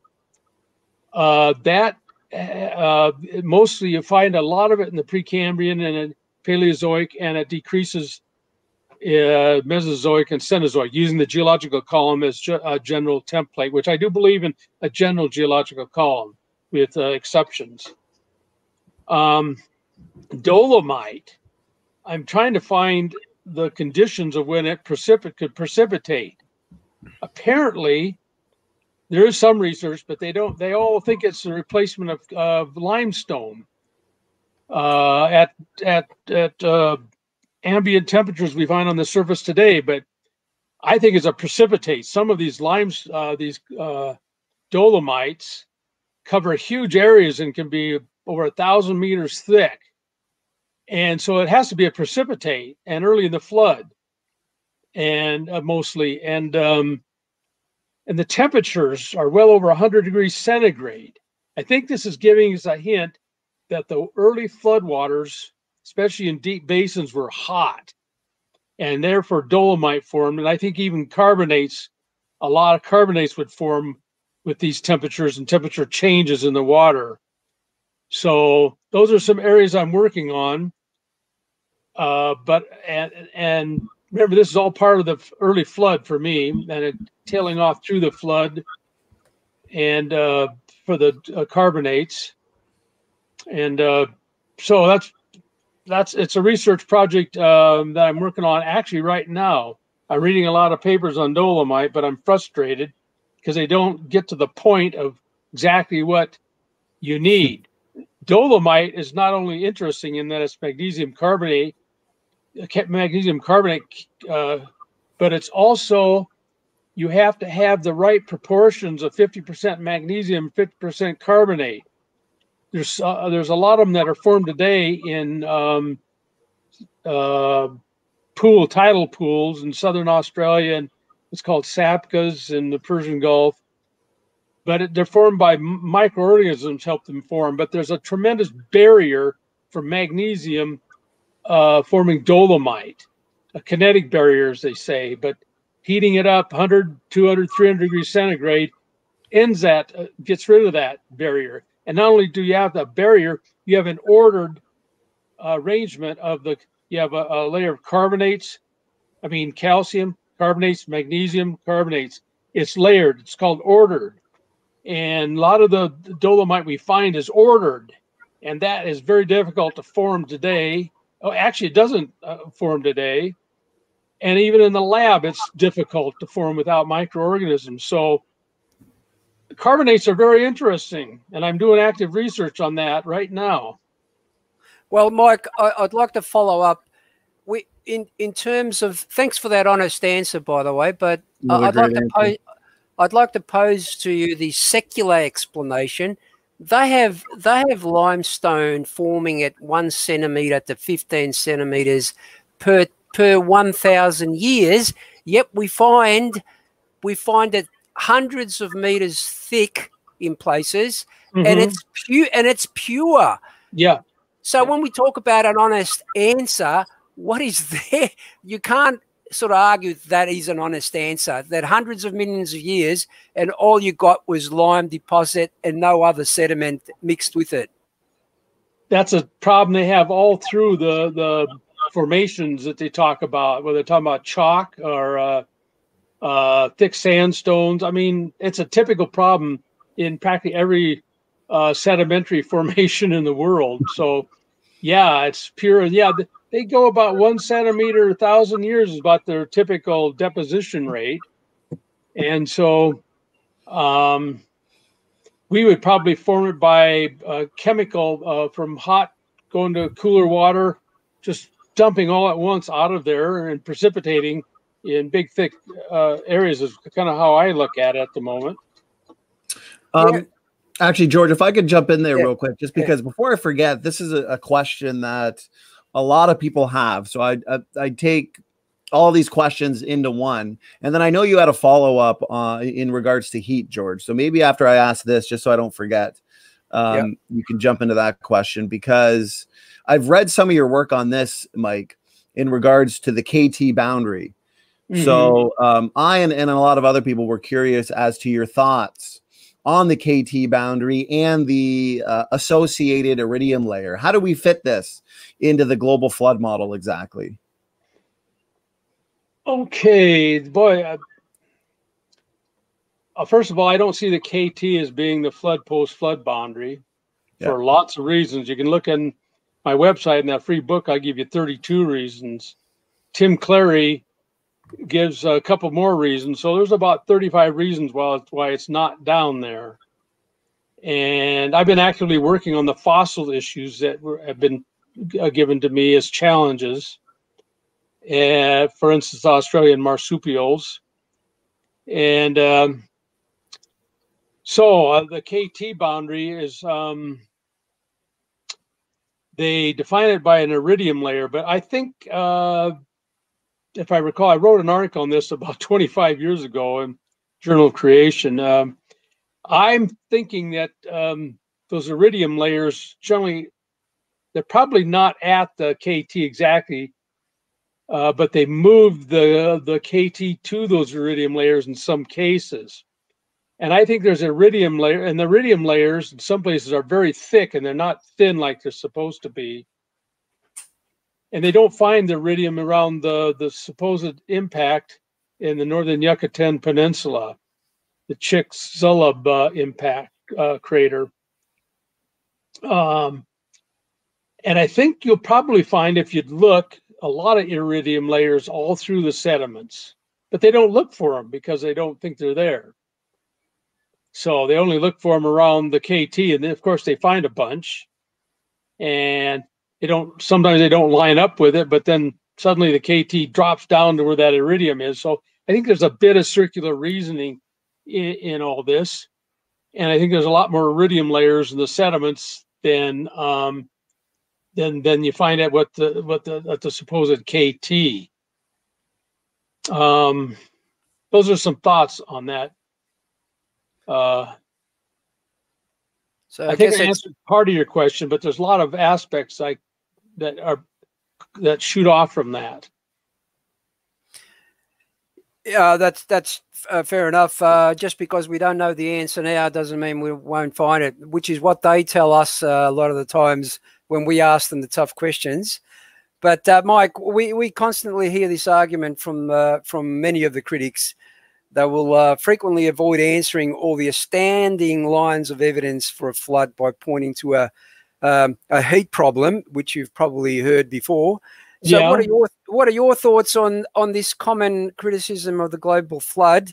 And I'm curious, does your theory of vertical plate tectonics have a solution to the often mentioned heat problem? I think all flood models have a heat problem. Um, the one I lean towards is meteorite impacts, probably about a thousand of them, followed by differential vertical tectonics, and that drains the floodwaters. Um, but there's problems with that model. I'm I'm doing a little bit of research here, off and on on it. It's a and uh, but I do see evidence for catastrophic plate tectonics too. So I favor that about twenty percent, and see pro I see since I read the current literature and even the old literature I've been reading for years, um, I find tremendous problems with uh, plate tectonics that no one hardly knows about. Yeah, they sweep, sweep it under the rug, but we need more research on that. But there is evidence for it, and there's evidence for impacts. They claim there's about 200, actually 190 is the last I just looked here a few days ago. Uh, but I think there's evidence for many more that they ignore because their, their criteria is so stringent. So, with catastrophic plate tectonics and impacts, we do have a heat problem. This is acknowledged. And at this point, um, we haven't got a good solution to that. Um, now, Russ Humphreys working on some exotic idea about uh, the expansion of space absorbing the heat, uh, but I don't know. I'm kind of unsatisfied with the little bit I know about that. Um, another one is that you know God's in control of the flood. You got to remember Psalm 104, 6 and 9. He started the flood and he ended the flood. And also it says, I think Psalm 22 is it? He sat as king of the flood. He was in charge of the flood. So I I'm assuming he took care of the heat problem. I'm giving it in God's hands. Now people might think that's a cop out, but that's a result of a lot of thinking on this. And we actually do have some evidence of that in the form of uh, of um, pleochroic halos. The work of Andrew Snelling indicates that plutons cooled dramatically in a matter of days. In other words, we had some kind of rapid cooling of the heat. And if that happened for plutons, which are big granite masses, um, it can happen all over the world. But I'll tell you, the secular scientists won't accept that. But we believe in a God that um, is all powerful, and uh, I I have no problem with it. I mean, if I could find a solution to it, I would. But I, all flood models have a heat problem. I readily admit that. Even the one I lean towards, and uh, which is the impacts followed by differential vertical tectonics. So that's about all I can say on that. I like to point out, uh, Mike, and that was a great answer, great responses so far. I like pointing out the fact that heat is necessary for the flood, as in heat and energy are required to get the plates moving in the first place. So the, the point I'm trying to make is the heat is it's not really a bug, it's an actual feature of the flood. Right. right? Yeah. And, and we and we don't necessarily know the temperature of the Earth's core in the pre-flood world. So a lot of that heat and energy True. may be in the core right now. So, yeah, there's um, one idea out that uh, the heat ended up uh, down deep in the mantle and the core and heated up the Earth. That's that's an idea worth um, pursuing. Right, but, right, um, right. Yeah, I just don't know how it'd get there though. But um, uh, I'd have questions on that. But that's a possibility. Right, right. Great answer. Great answer. Um, George, did you have anything to add, or did you want to move on to one of these uh, other questions we have here? I've got a bunch I can. Well, uh, you know, I'll say this because once again, there's a lot of questions that I can kind of just take, Mike, and just uh, fuse into one. And this okay. is a common question that people have, and I know you're no stranger to it. So what is the best explanation for the ordering of the fossils in the so-called geological column? Because we know that the evolutionists will say that the ordering reflects evolutionary history, right? From simple organisms to right. man and and more complex organisms. So what, what's the best explanation for that ordering, do you believe? Well, first of all, you can challenge the evolutionary idea of going from simple to complex and that nothing is simple. Every organism is exceedingly complicated and you go from exceedingly complicated to exceedingly exceedingly complicated.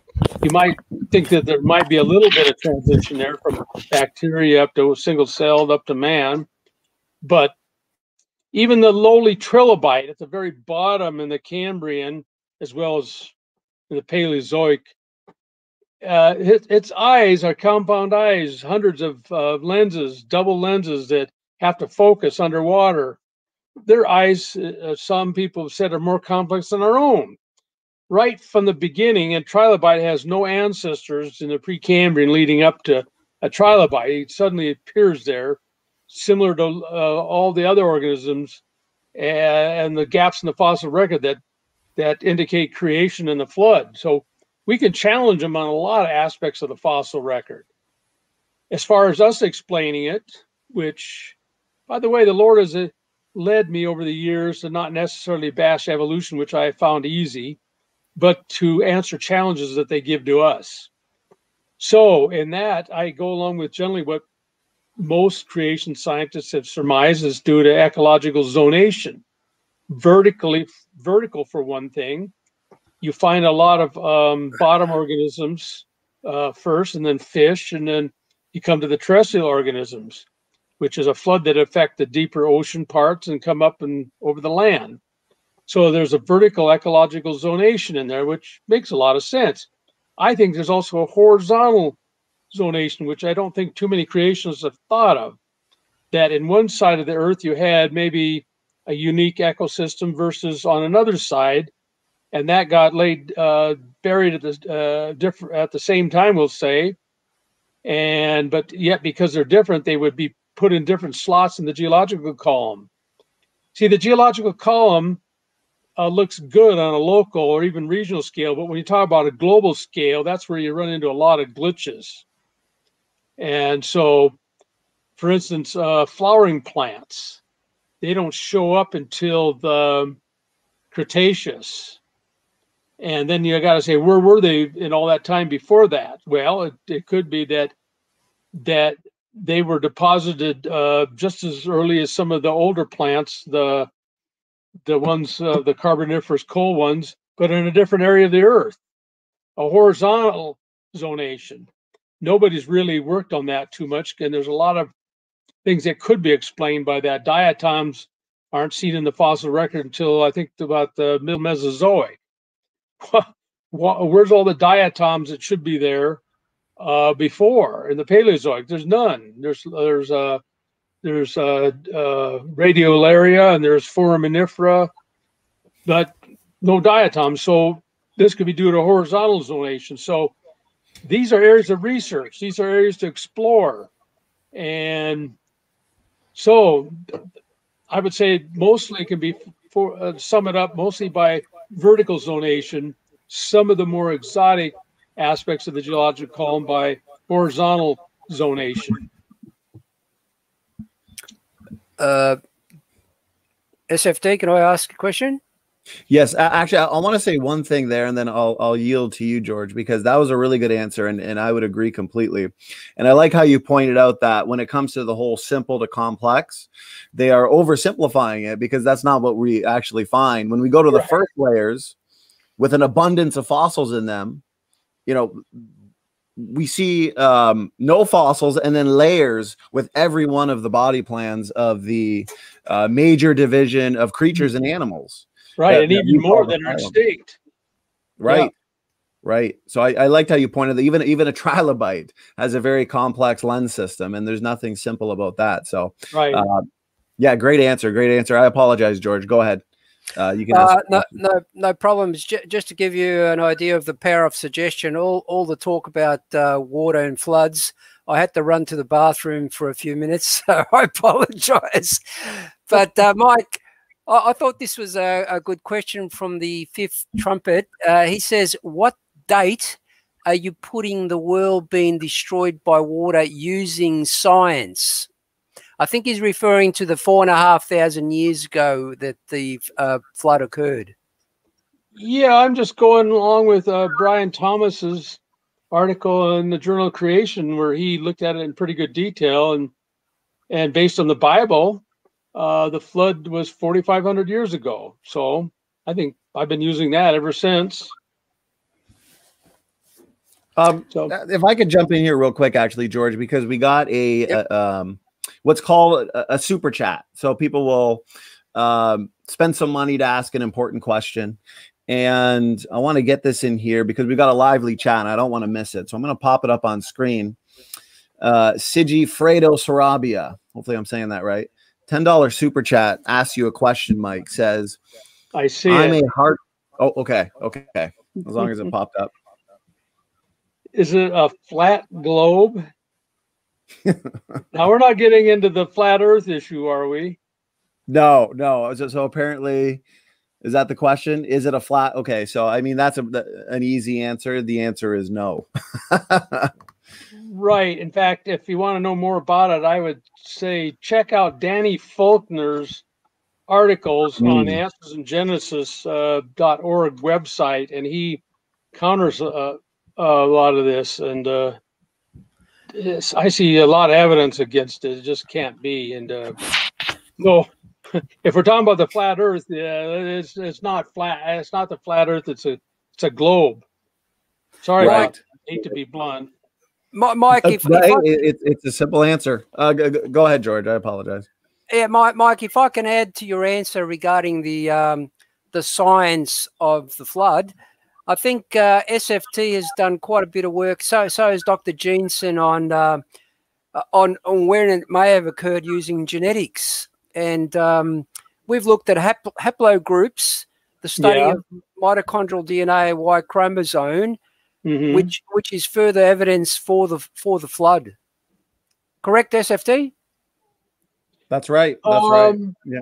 Yeah, I've I've only looked at that a bit, and uh, since it's in biology, it's I I kind of miss the the details of it, so I'm really not in a position to get into that uh, and, and very very well. Um, he's finding some interesting stuff, and uh, he's related it to, to possibly the spreading out of the people uh, from the ark and uh, there's I found some some good stuff there, but I have not delved into it too deep. Uh, so at this point, being a non-biologist, I'm gonna have to say, hey, I, there's a lot of understanding I, I need to catch up on before I can really get into that. That's fair well, enough.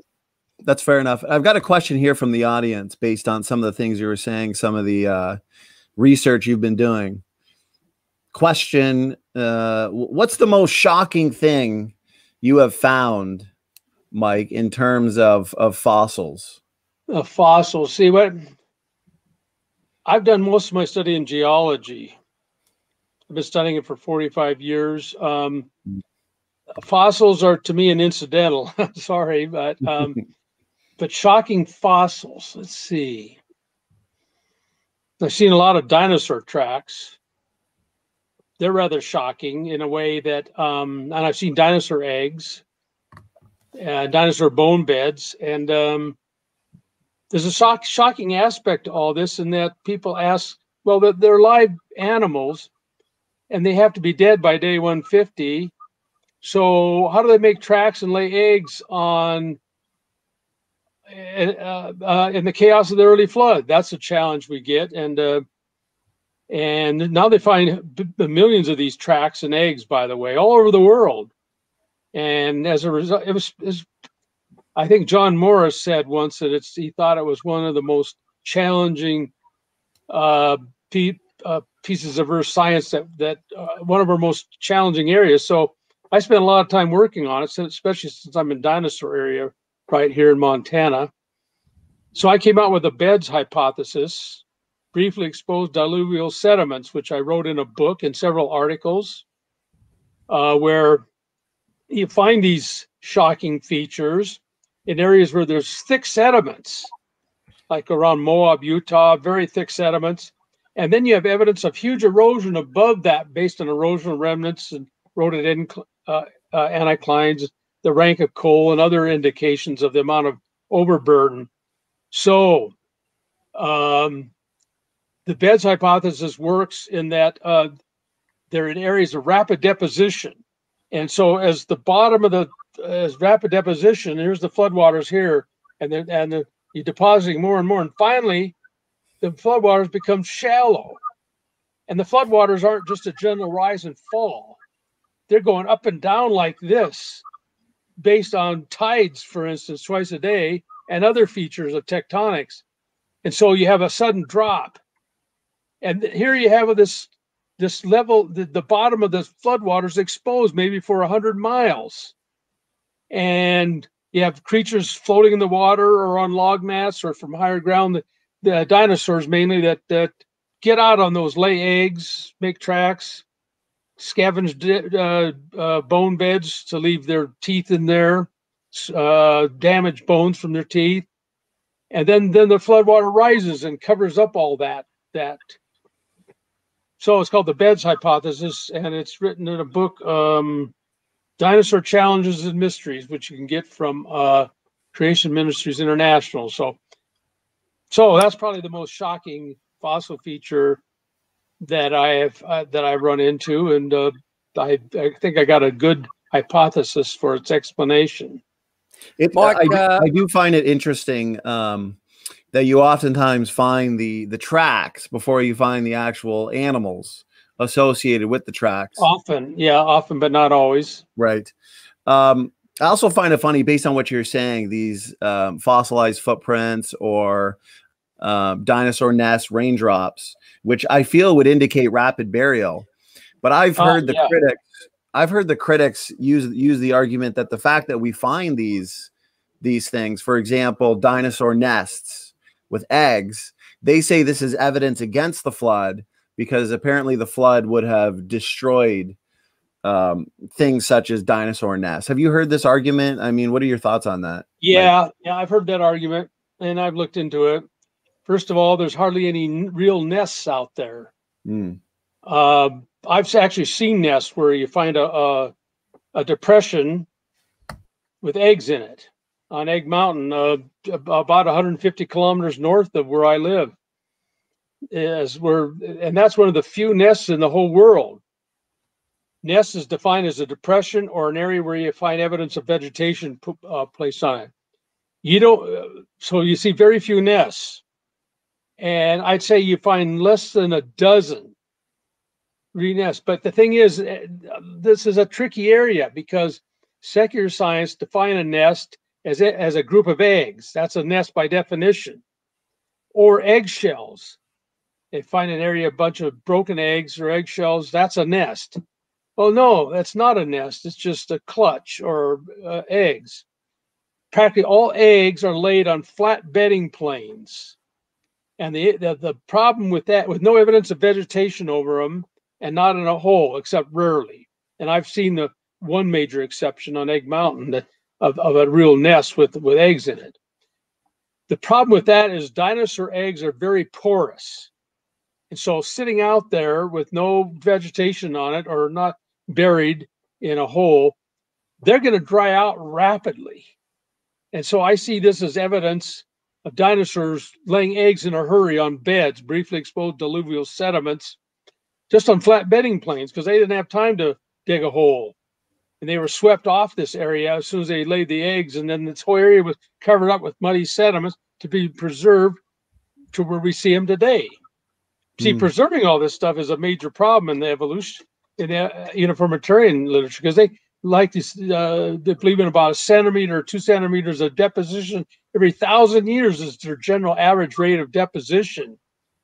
And so at that rate uh, these uh, how are you going to deposit all, all this material and, and preserve right. tracks and eggs with a deposition that slow.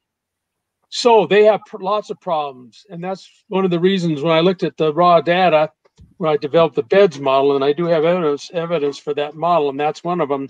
The eggs laid on uh, uh, bear, uh, bedding planes. Mike, uh, uh, coming from an engineering background, we've studied uh, earthquakes and the effects of earthquakes, and you've probably heard of liquefaction. Yes. You can even do the experiment at home with with sand. get an arrangement of eggs similar to how the dinosaurs would have laid their eggs. Shake it, and it acts like a quicksand. The eggs will literally sink below below the surface, mm -hmm. and that mm-hmm. would really maintain that that structure and shape that uh, the dinosaurs would have originally laid their eggs in. That's the way I mm-hmm. explain it. I explain it through liquefaction. That's a very good uh, hypothesis. Yes, that's a good one. Yeah, I'll remember that because I, I hadn't thought of it. That's oh, why we pay George the big buck. You can you you can use it, Mike. All right, thank you. Um, one thing I'll say, or a question that kind of came to mind, is we always hear the critics saying that young Earth creationists, flood geologists don't make any testable predictions, future testable predictions. Um, how best to respond to this claim and is is it erroneous? Do young Earth creationists make uh, testable predictions in terms of flood geology, the global flood? Well, you got to remember, I was in the business of future predictions for 30 years. Mm. they paid me good money to be wrong. My weather forecast. Right. Um, I'd say none of us really make predictions because they're all this is in the past. Of anything, mm. they're what's called um, post postdictions, or what's that the term? post Postdictions. Anyway, they can make predictions on what you'd expect based on their model, and we would expect. Yeah, we make predictions. We would expect uh, layers laid over huge areas, and then uh, the next layer laid flat on top of that, one after another in quick succession and that's exactly what we see in those sedimentary records. They would say it all formed by one or two centimeters per thousand years. or maybe it might occur rapidly in a in a catastrophe along a flood along a stream. But you look at the sediments in that, nowhere near uh, uh, matches what we see in the rock record. Um, nowhere near the, uh, because it changes facies, as we say, different types of sediment in short distances, horizontally and vertically. That's what we see with floods today. Um, but that's not what we see in the rock record at all. We see these huge formations over huge areas with little or no erosion between the layers. And they give them uh, tens to hundreds of millions of years to lay down these layers at one to two centimeters every thousand years. And where's the evidence of erosion? Uh, see, their predictions are could be falsified when we look at the bulk sedimentary rocks, which is where they they claim that you can see evolution uh, versus we say they're, they're deposited by Noah's flood, and this is what we should expect. And also, we should expect billions of dead things in rock layers buried in rock layers all over the world, and that's what we see. And their fossilization today, based on uniformitarianism, is extremely rare.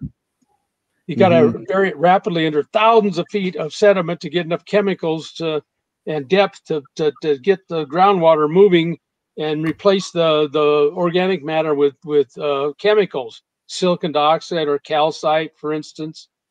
So we could make uh, postdictions, plenty of them, and and we can, they can, and and um, I'd say we we could verify a lot of our postdictions. Now, Mike, uh, this comes from an atmospheric science point of view. Okay, we all we all know we all know about the lost squadron but yes. one of the one of the questions is: Do ice cores contradict biblical history?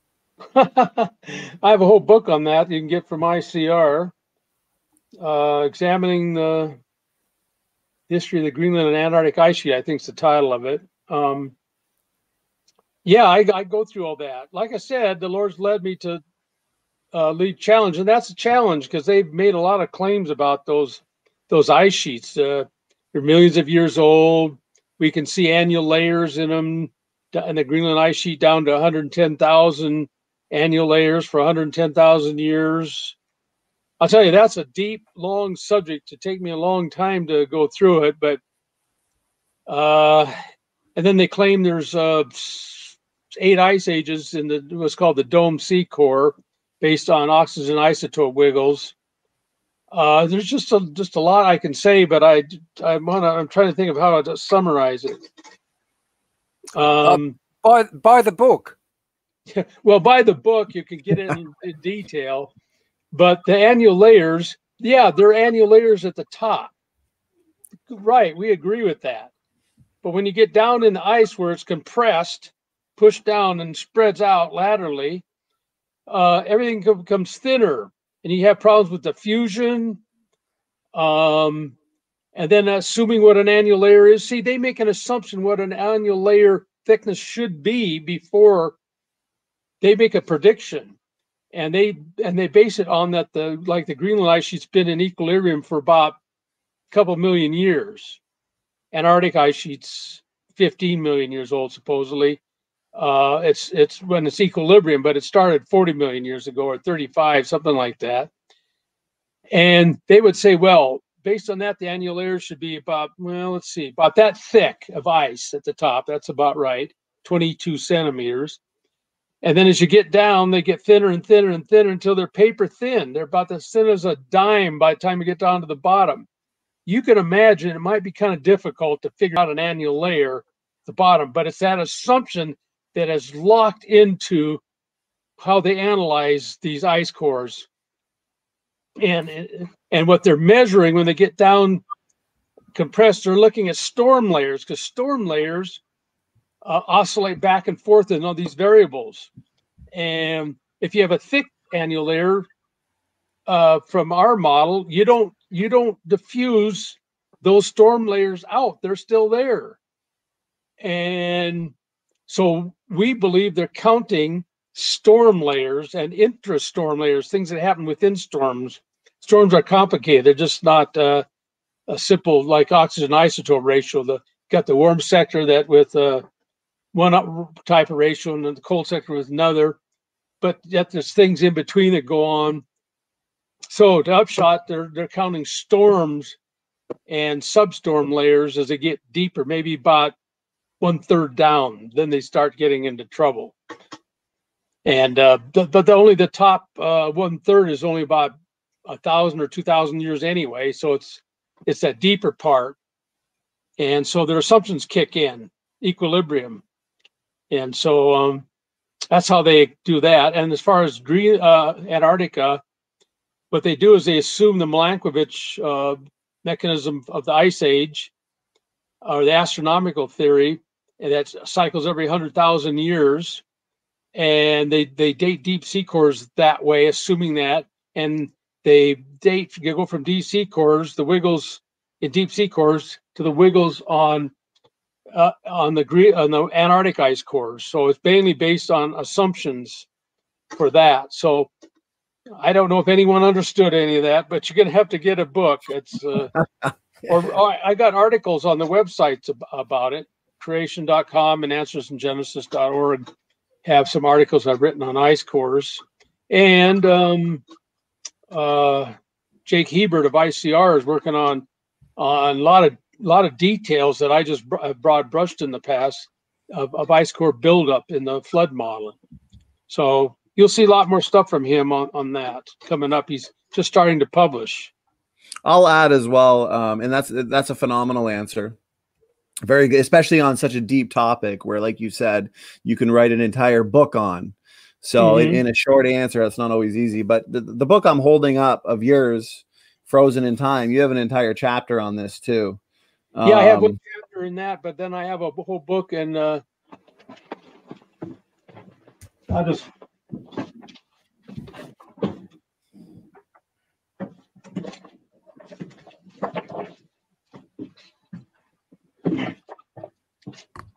Frozen record. Right. Okay. You can get it from ICR by print on demand still. Awesome. Awesome. I'm notorious for ordering books all the time. My wife knows there's always a package coming in the mail. So that'll probably be my next one. Um, Same with me. Yeah. Uh, can I ask a next, next question, in SFT? Go but, ahead. but I, I'm gonna I'm gonna introduce Mike, Mike to one of my theories. Mike, do you know uh, what caused the extinction of the dinosaurs? Just say no. okay, this is a joke. Uh, no. they they tasted too much like chicken. yeah, everything tastes like chicken. Rattlesnakes, uh, All right. rabbits. now, now, Mike, here's my here's my question. This is a serious question. How, how do you best explain uh, the big five extinction events in the young Earth creation worldview uh, geochemically? geochemically? Well, that's the question here. That's what I've got. Well, first of all, um, I think a lot of those extinction events uh, are partly based on circular reasoning. Remember, I said partly. Mm. Why? Because they they've dated a lot of layers by fossils, and so if you have a vertical sequence, you find one type of fossil in one layer, but different fossils above it and in between uh, automatically would be an extinction event. And so when they have these uh, major changes like uh, Cretaceous to the Tertiary, um, there's different organisms there. So automatically it becomes a major extinction event. And there's lots of minor ones all through the geological column based because fossils are different fossils are in different layers. Uh, so, uh, so partly of circular reasoning. Uh, let's say the the Permian uh, Triassic boundary. It's because you have trilobites clear up to the top of the Paleozoic there in the Permian, and, and then none afterwards. And uh, so, uh, and then you find different organisms, more land organisms, dinosaurs. So you have a major gap in there. So yeah, it would be an extinction automatically.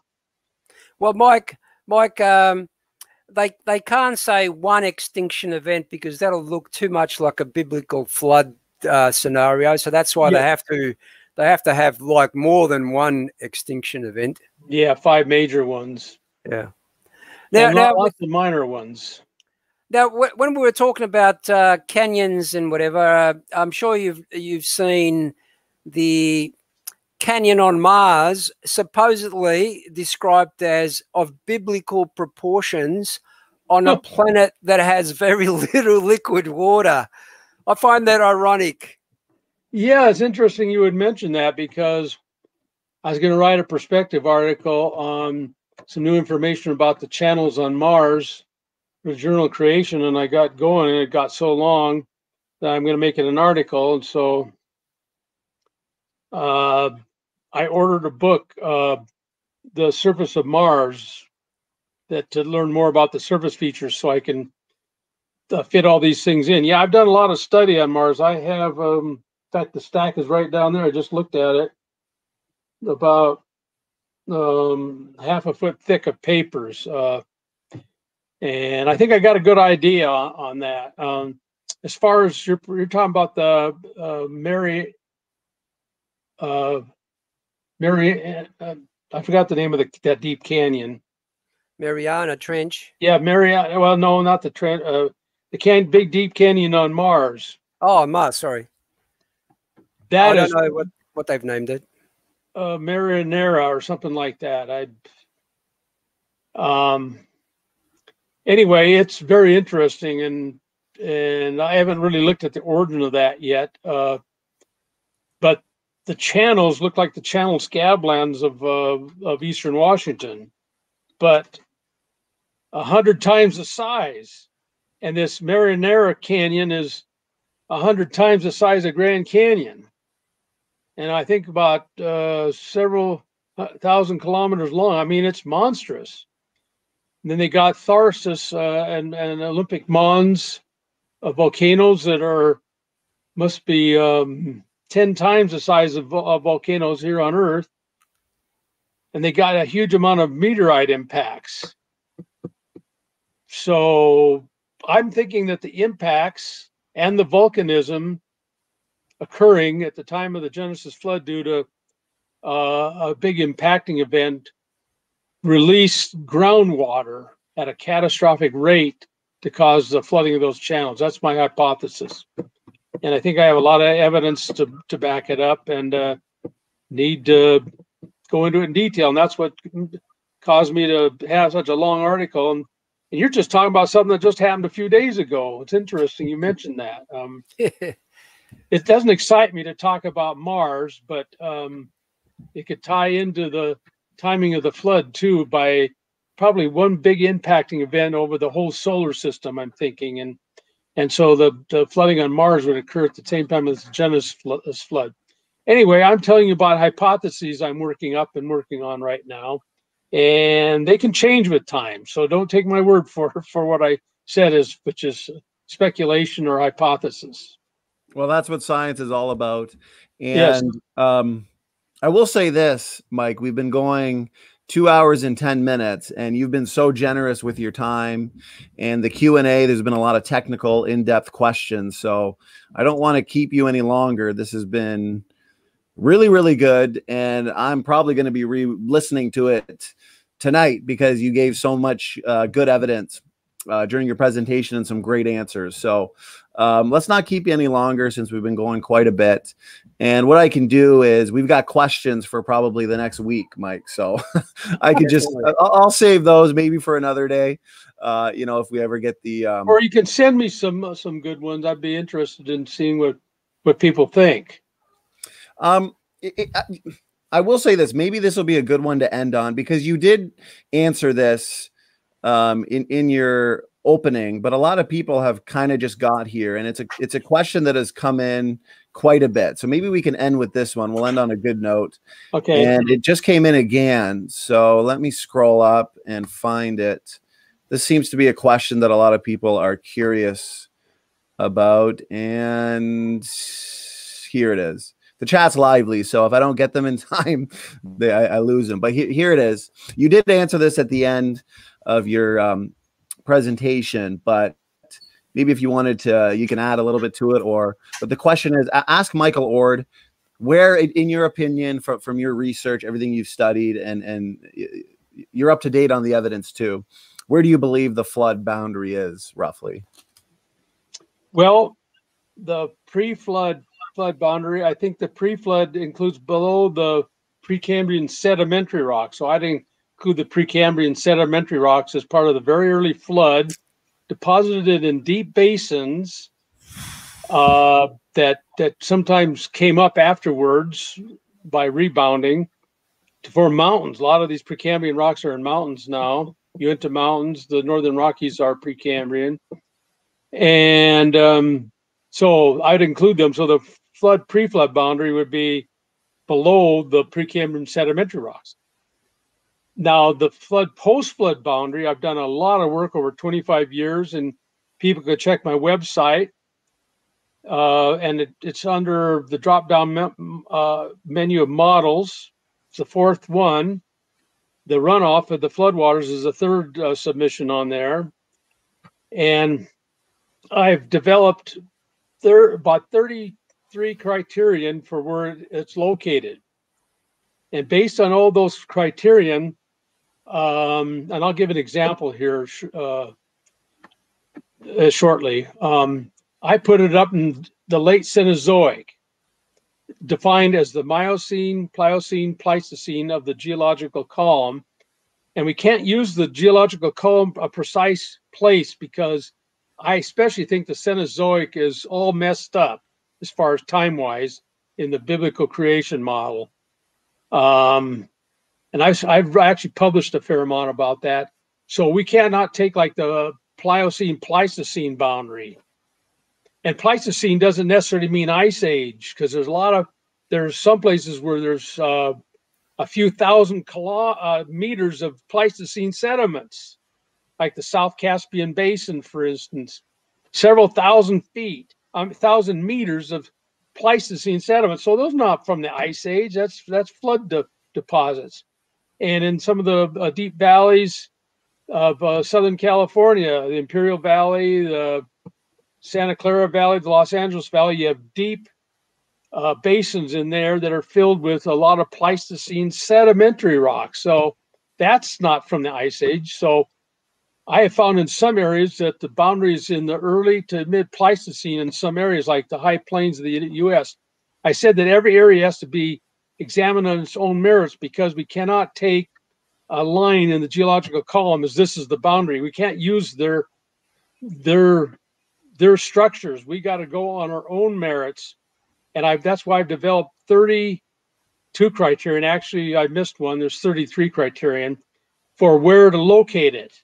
And when I use that criterion, practically always find it in the late Cenozoic someplace, uh, often in the early Pleistocene in, in places, but not always. Um, so let's give an example. A good uh, example is coal. Coal is the amalgamation of, of material from log mats that is beached and then sediments put on it and pressed down and forming coal by the heat. And um, coal has to have a fair amount of overburden to press it down. It depends on the rank of the coal. Like bituminous coal, you need about uh, 2,000 to 3,000 meters of sediment on top.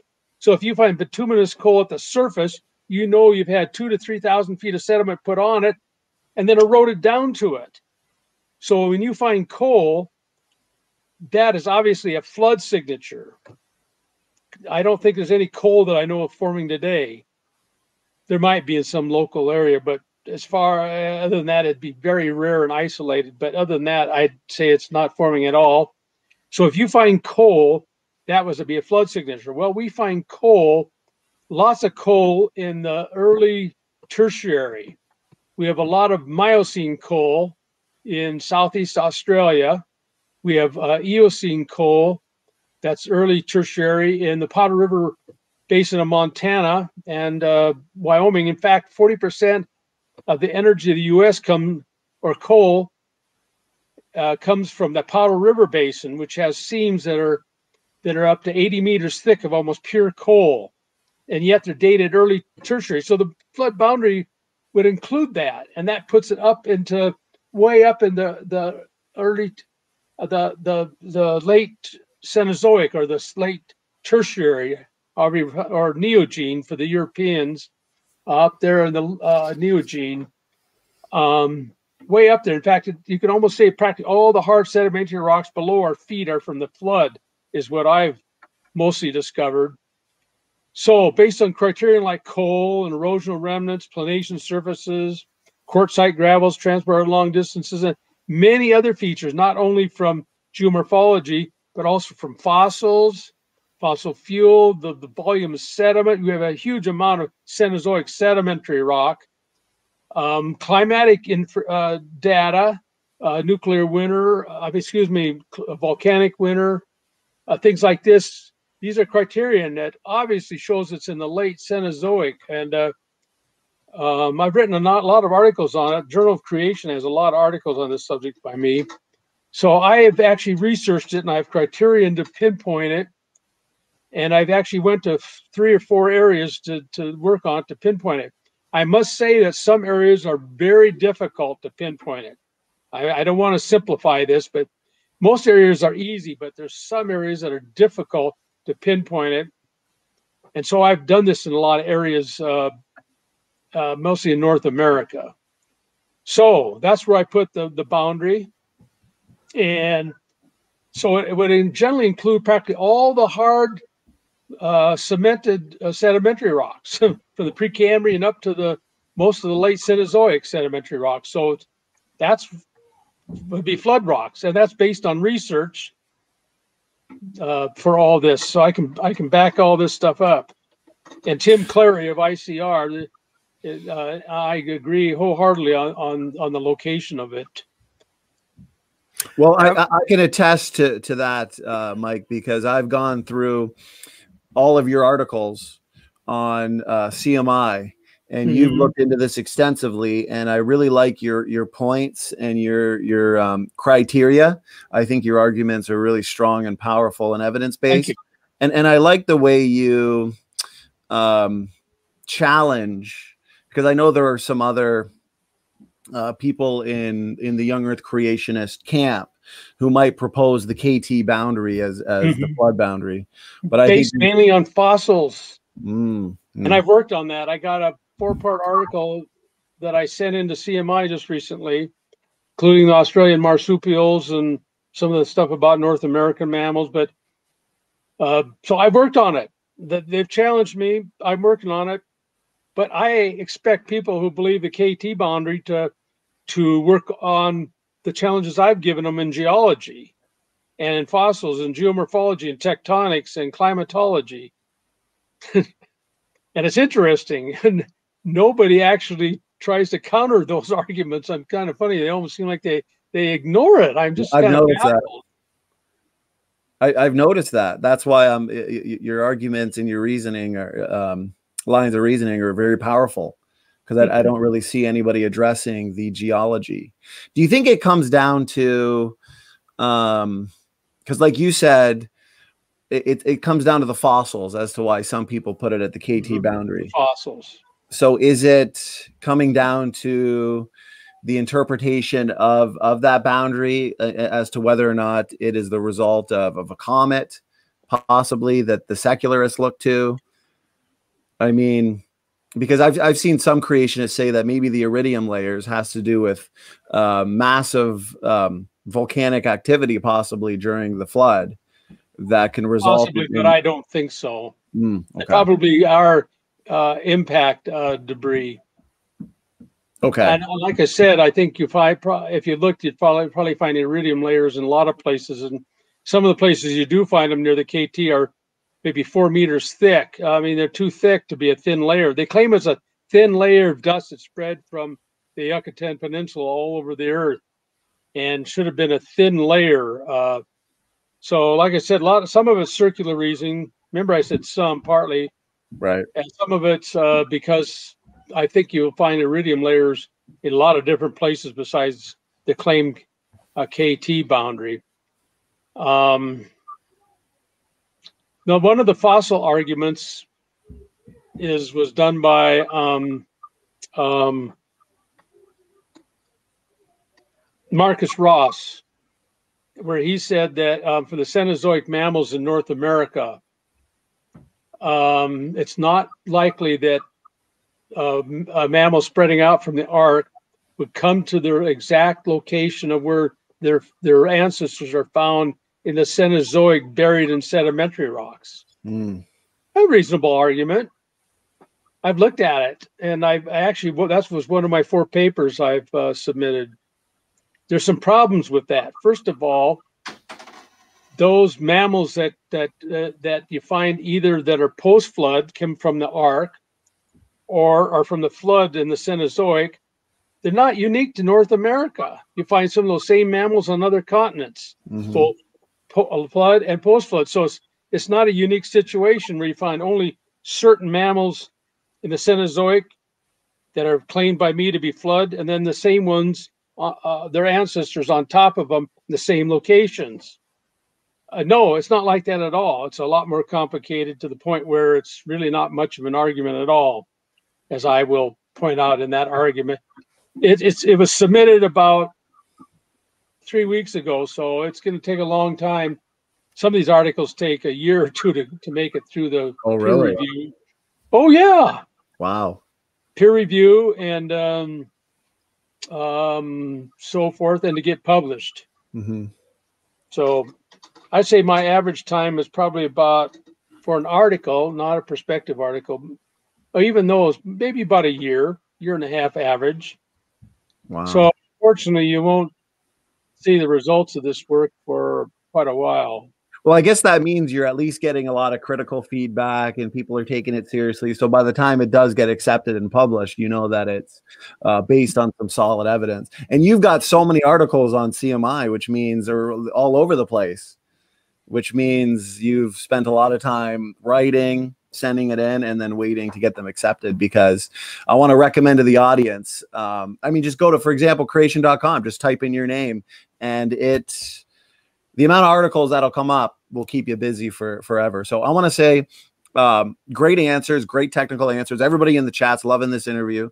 Um, I'm gonna I'm gonna yield the mic, and George, I'll, I'll give you the last word if you want to. We'll, we'll kind of wrap things up. We're now going on t- t- uh, two and a half hours. Although two and a half hours has flown by, I could Yes, probably they talk about this stuff all day. to be honest with you, um, George, a- a- any final words there, brother? Y- yes, uh, we're we're big on critical thinking on this channel, uh, Mike. But um, what I'd like to do, I'd like to put you on the spot now. While we're Yeah. on air, while we're on air live, and we've got a hundred million viewers, yeah.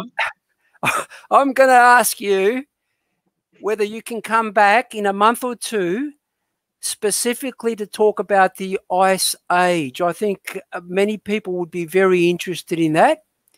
So the the, spotlight is on you, Mike. Yes, I'll do it. I, hey, uh, I, the Lord has led me to, to do things like this, not only to an- try to answer challenges given to me, but to, to get the word out uh, as much as I can. So yes, I, I take this as a high priority to, to talk to people about these things. Okay, so By the way, speaking of research, Yep. I still feel like I got 500 years left to go. There's so many pieces of research I can do. I have 15 projects I'm involved in right now, and I feel overwhelmed sometimes. And there's a lot more I, I can do that I haven't even touched. So, for those people that don't have answers to particular questions, uh, I must say that it's because there's not enough researchers out there to do the research, and I don't have enough time to, in the rest of my life, to do 500 years worth. So, but you have to have patience. There, there- there's a lot of answers that are out there. So that's what I'd like to, uh, you know, and I'll come back and talk about the ice age uh, for you coming up.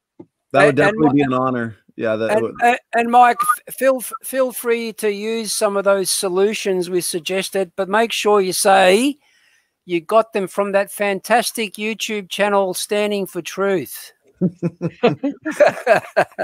Okay, I like to give credit where credit's due.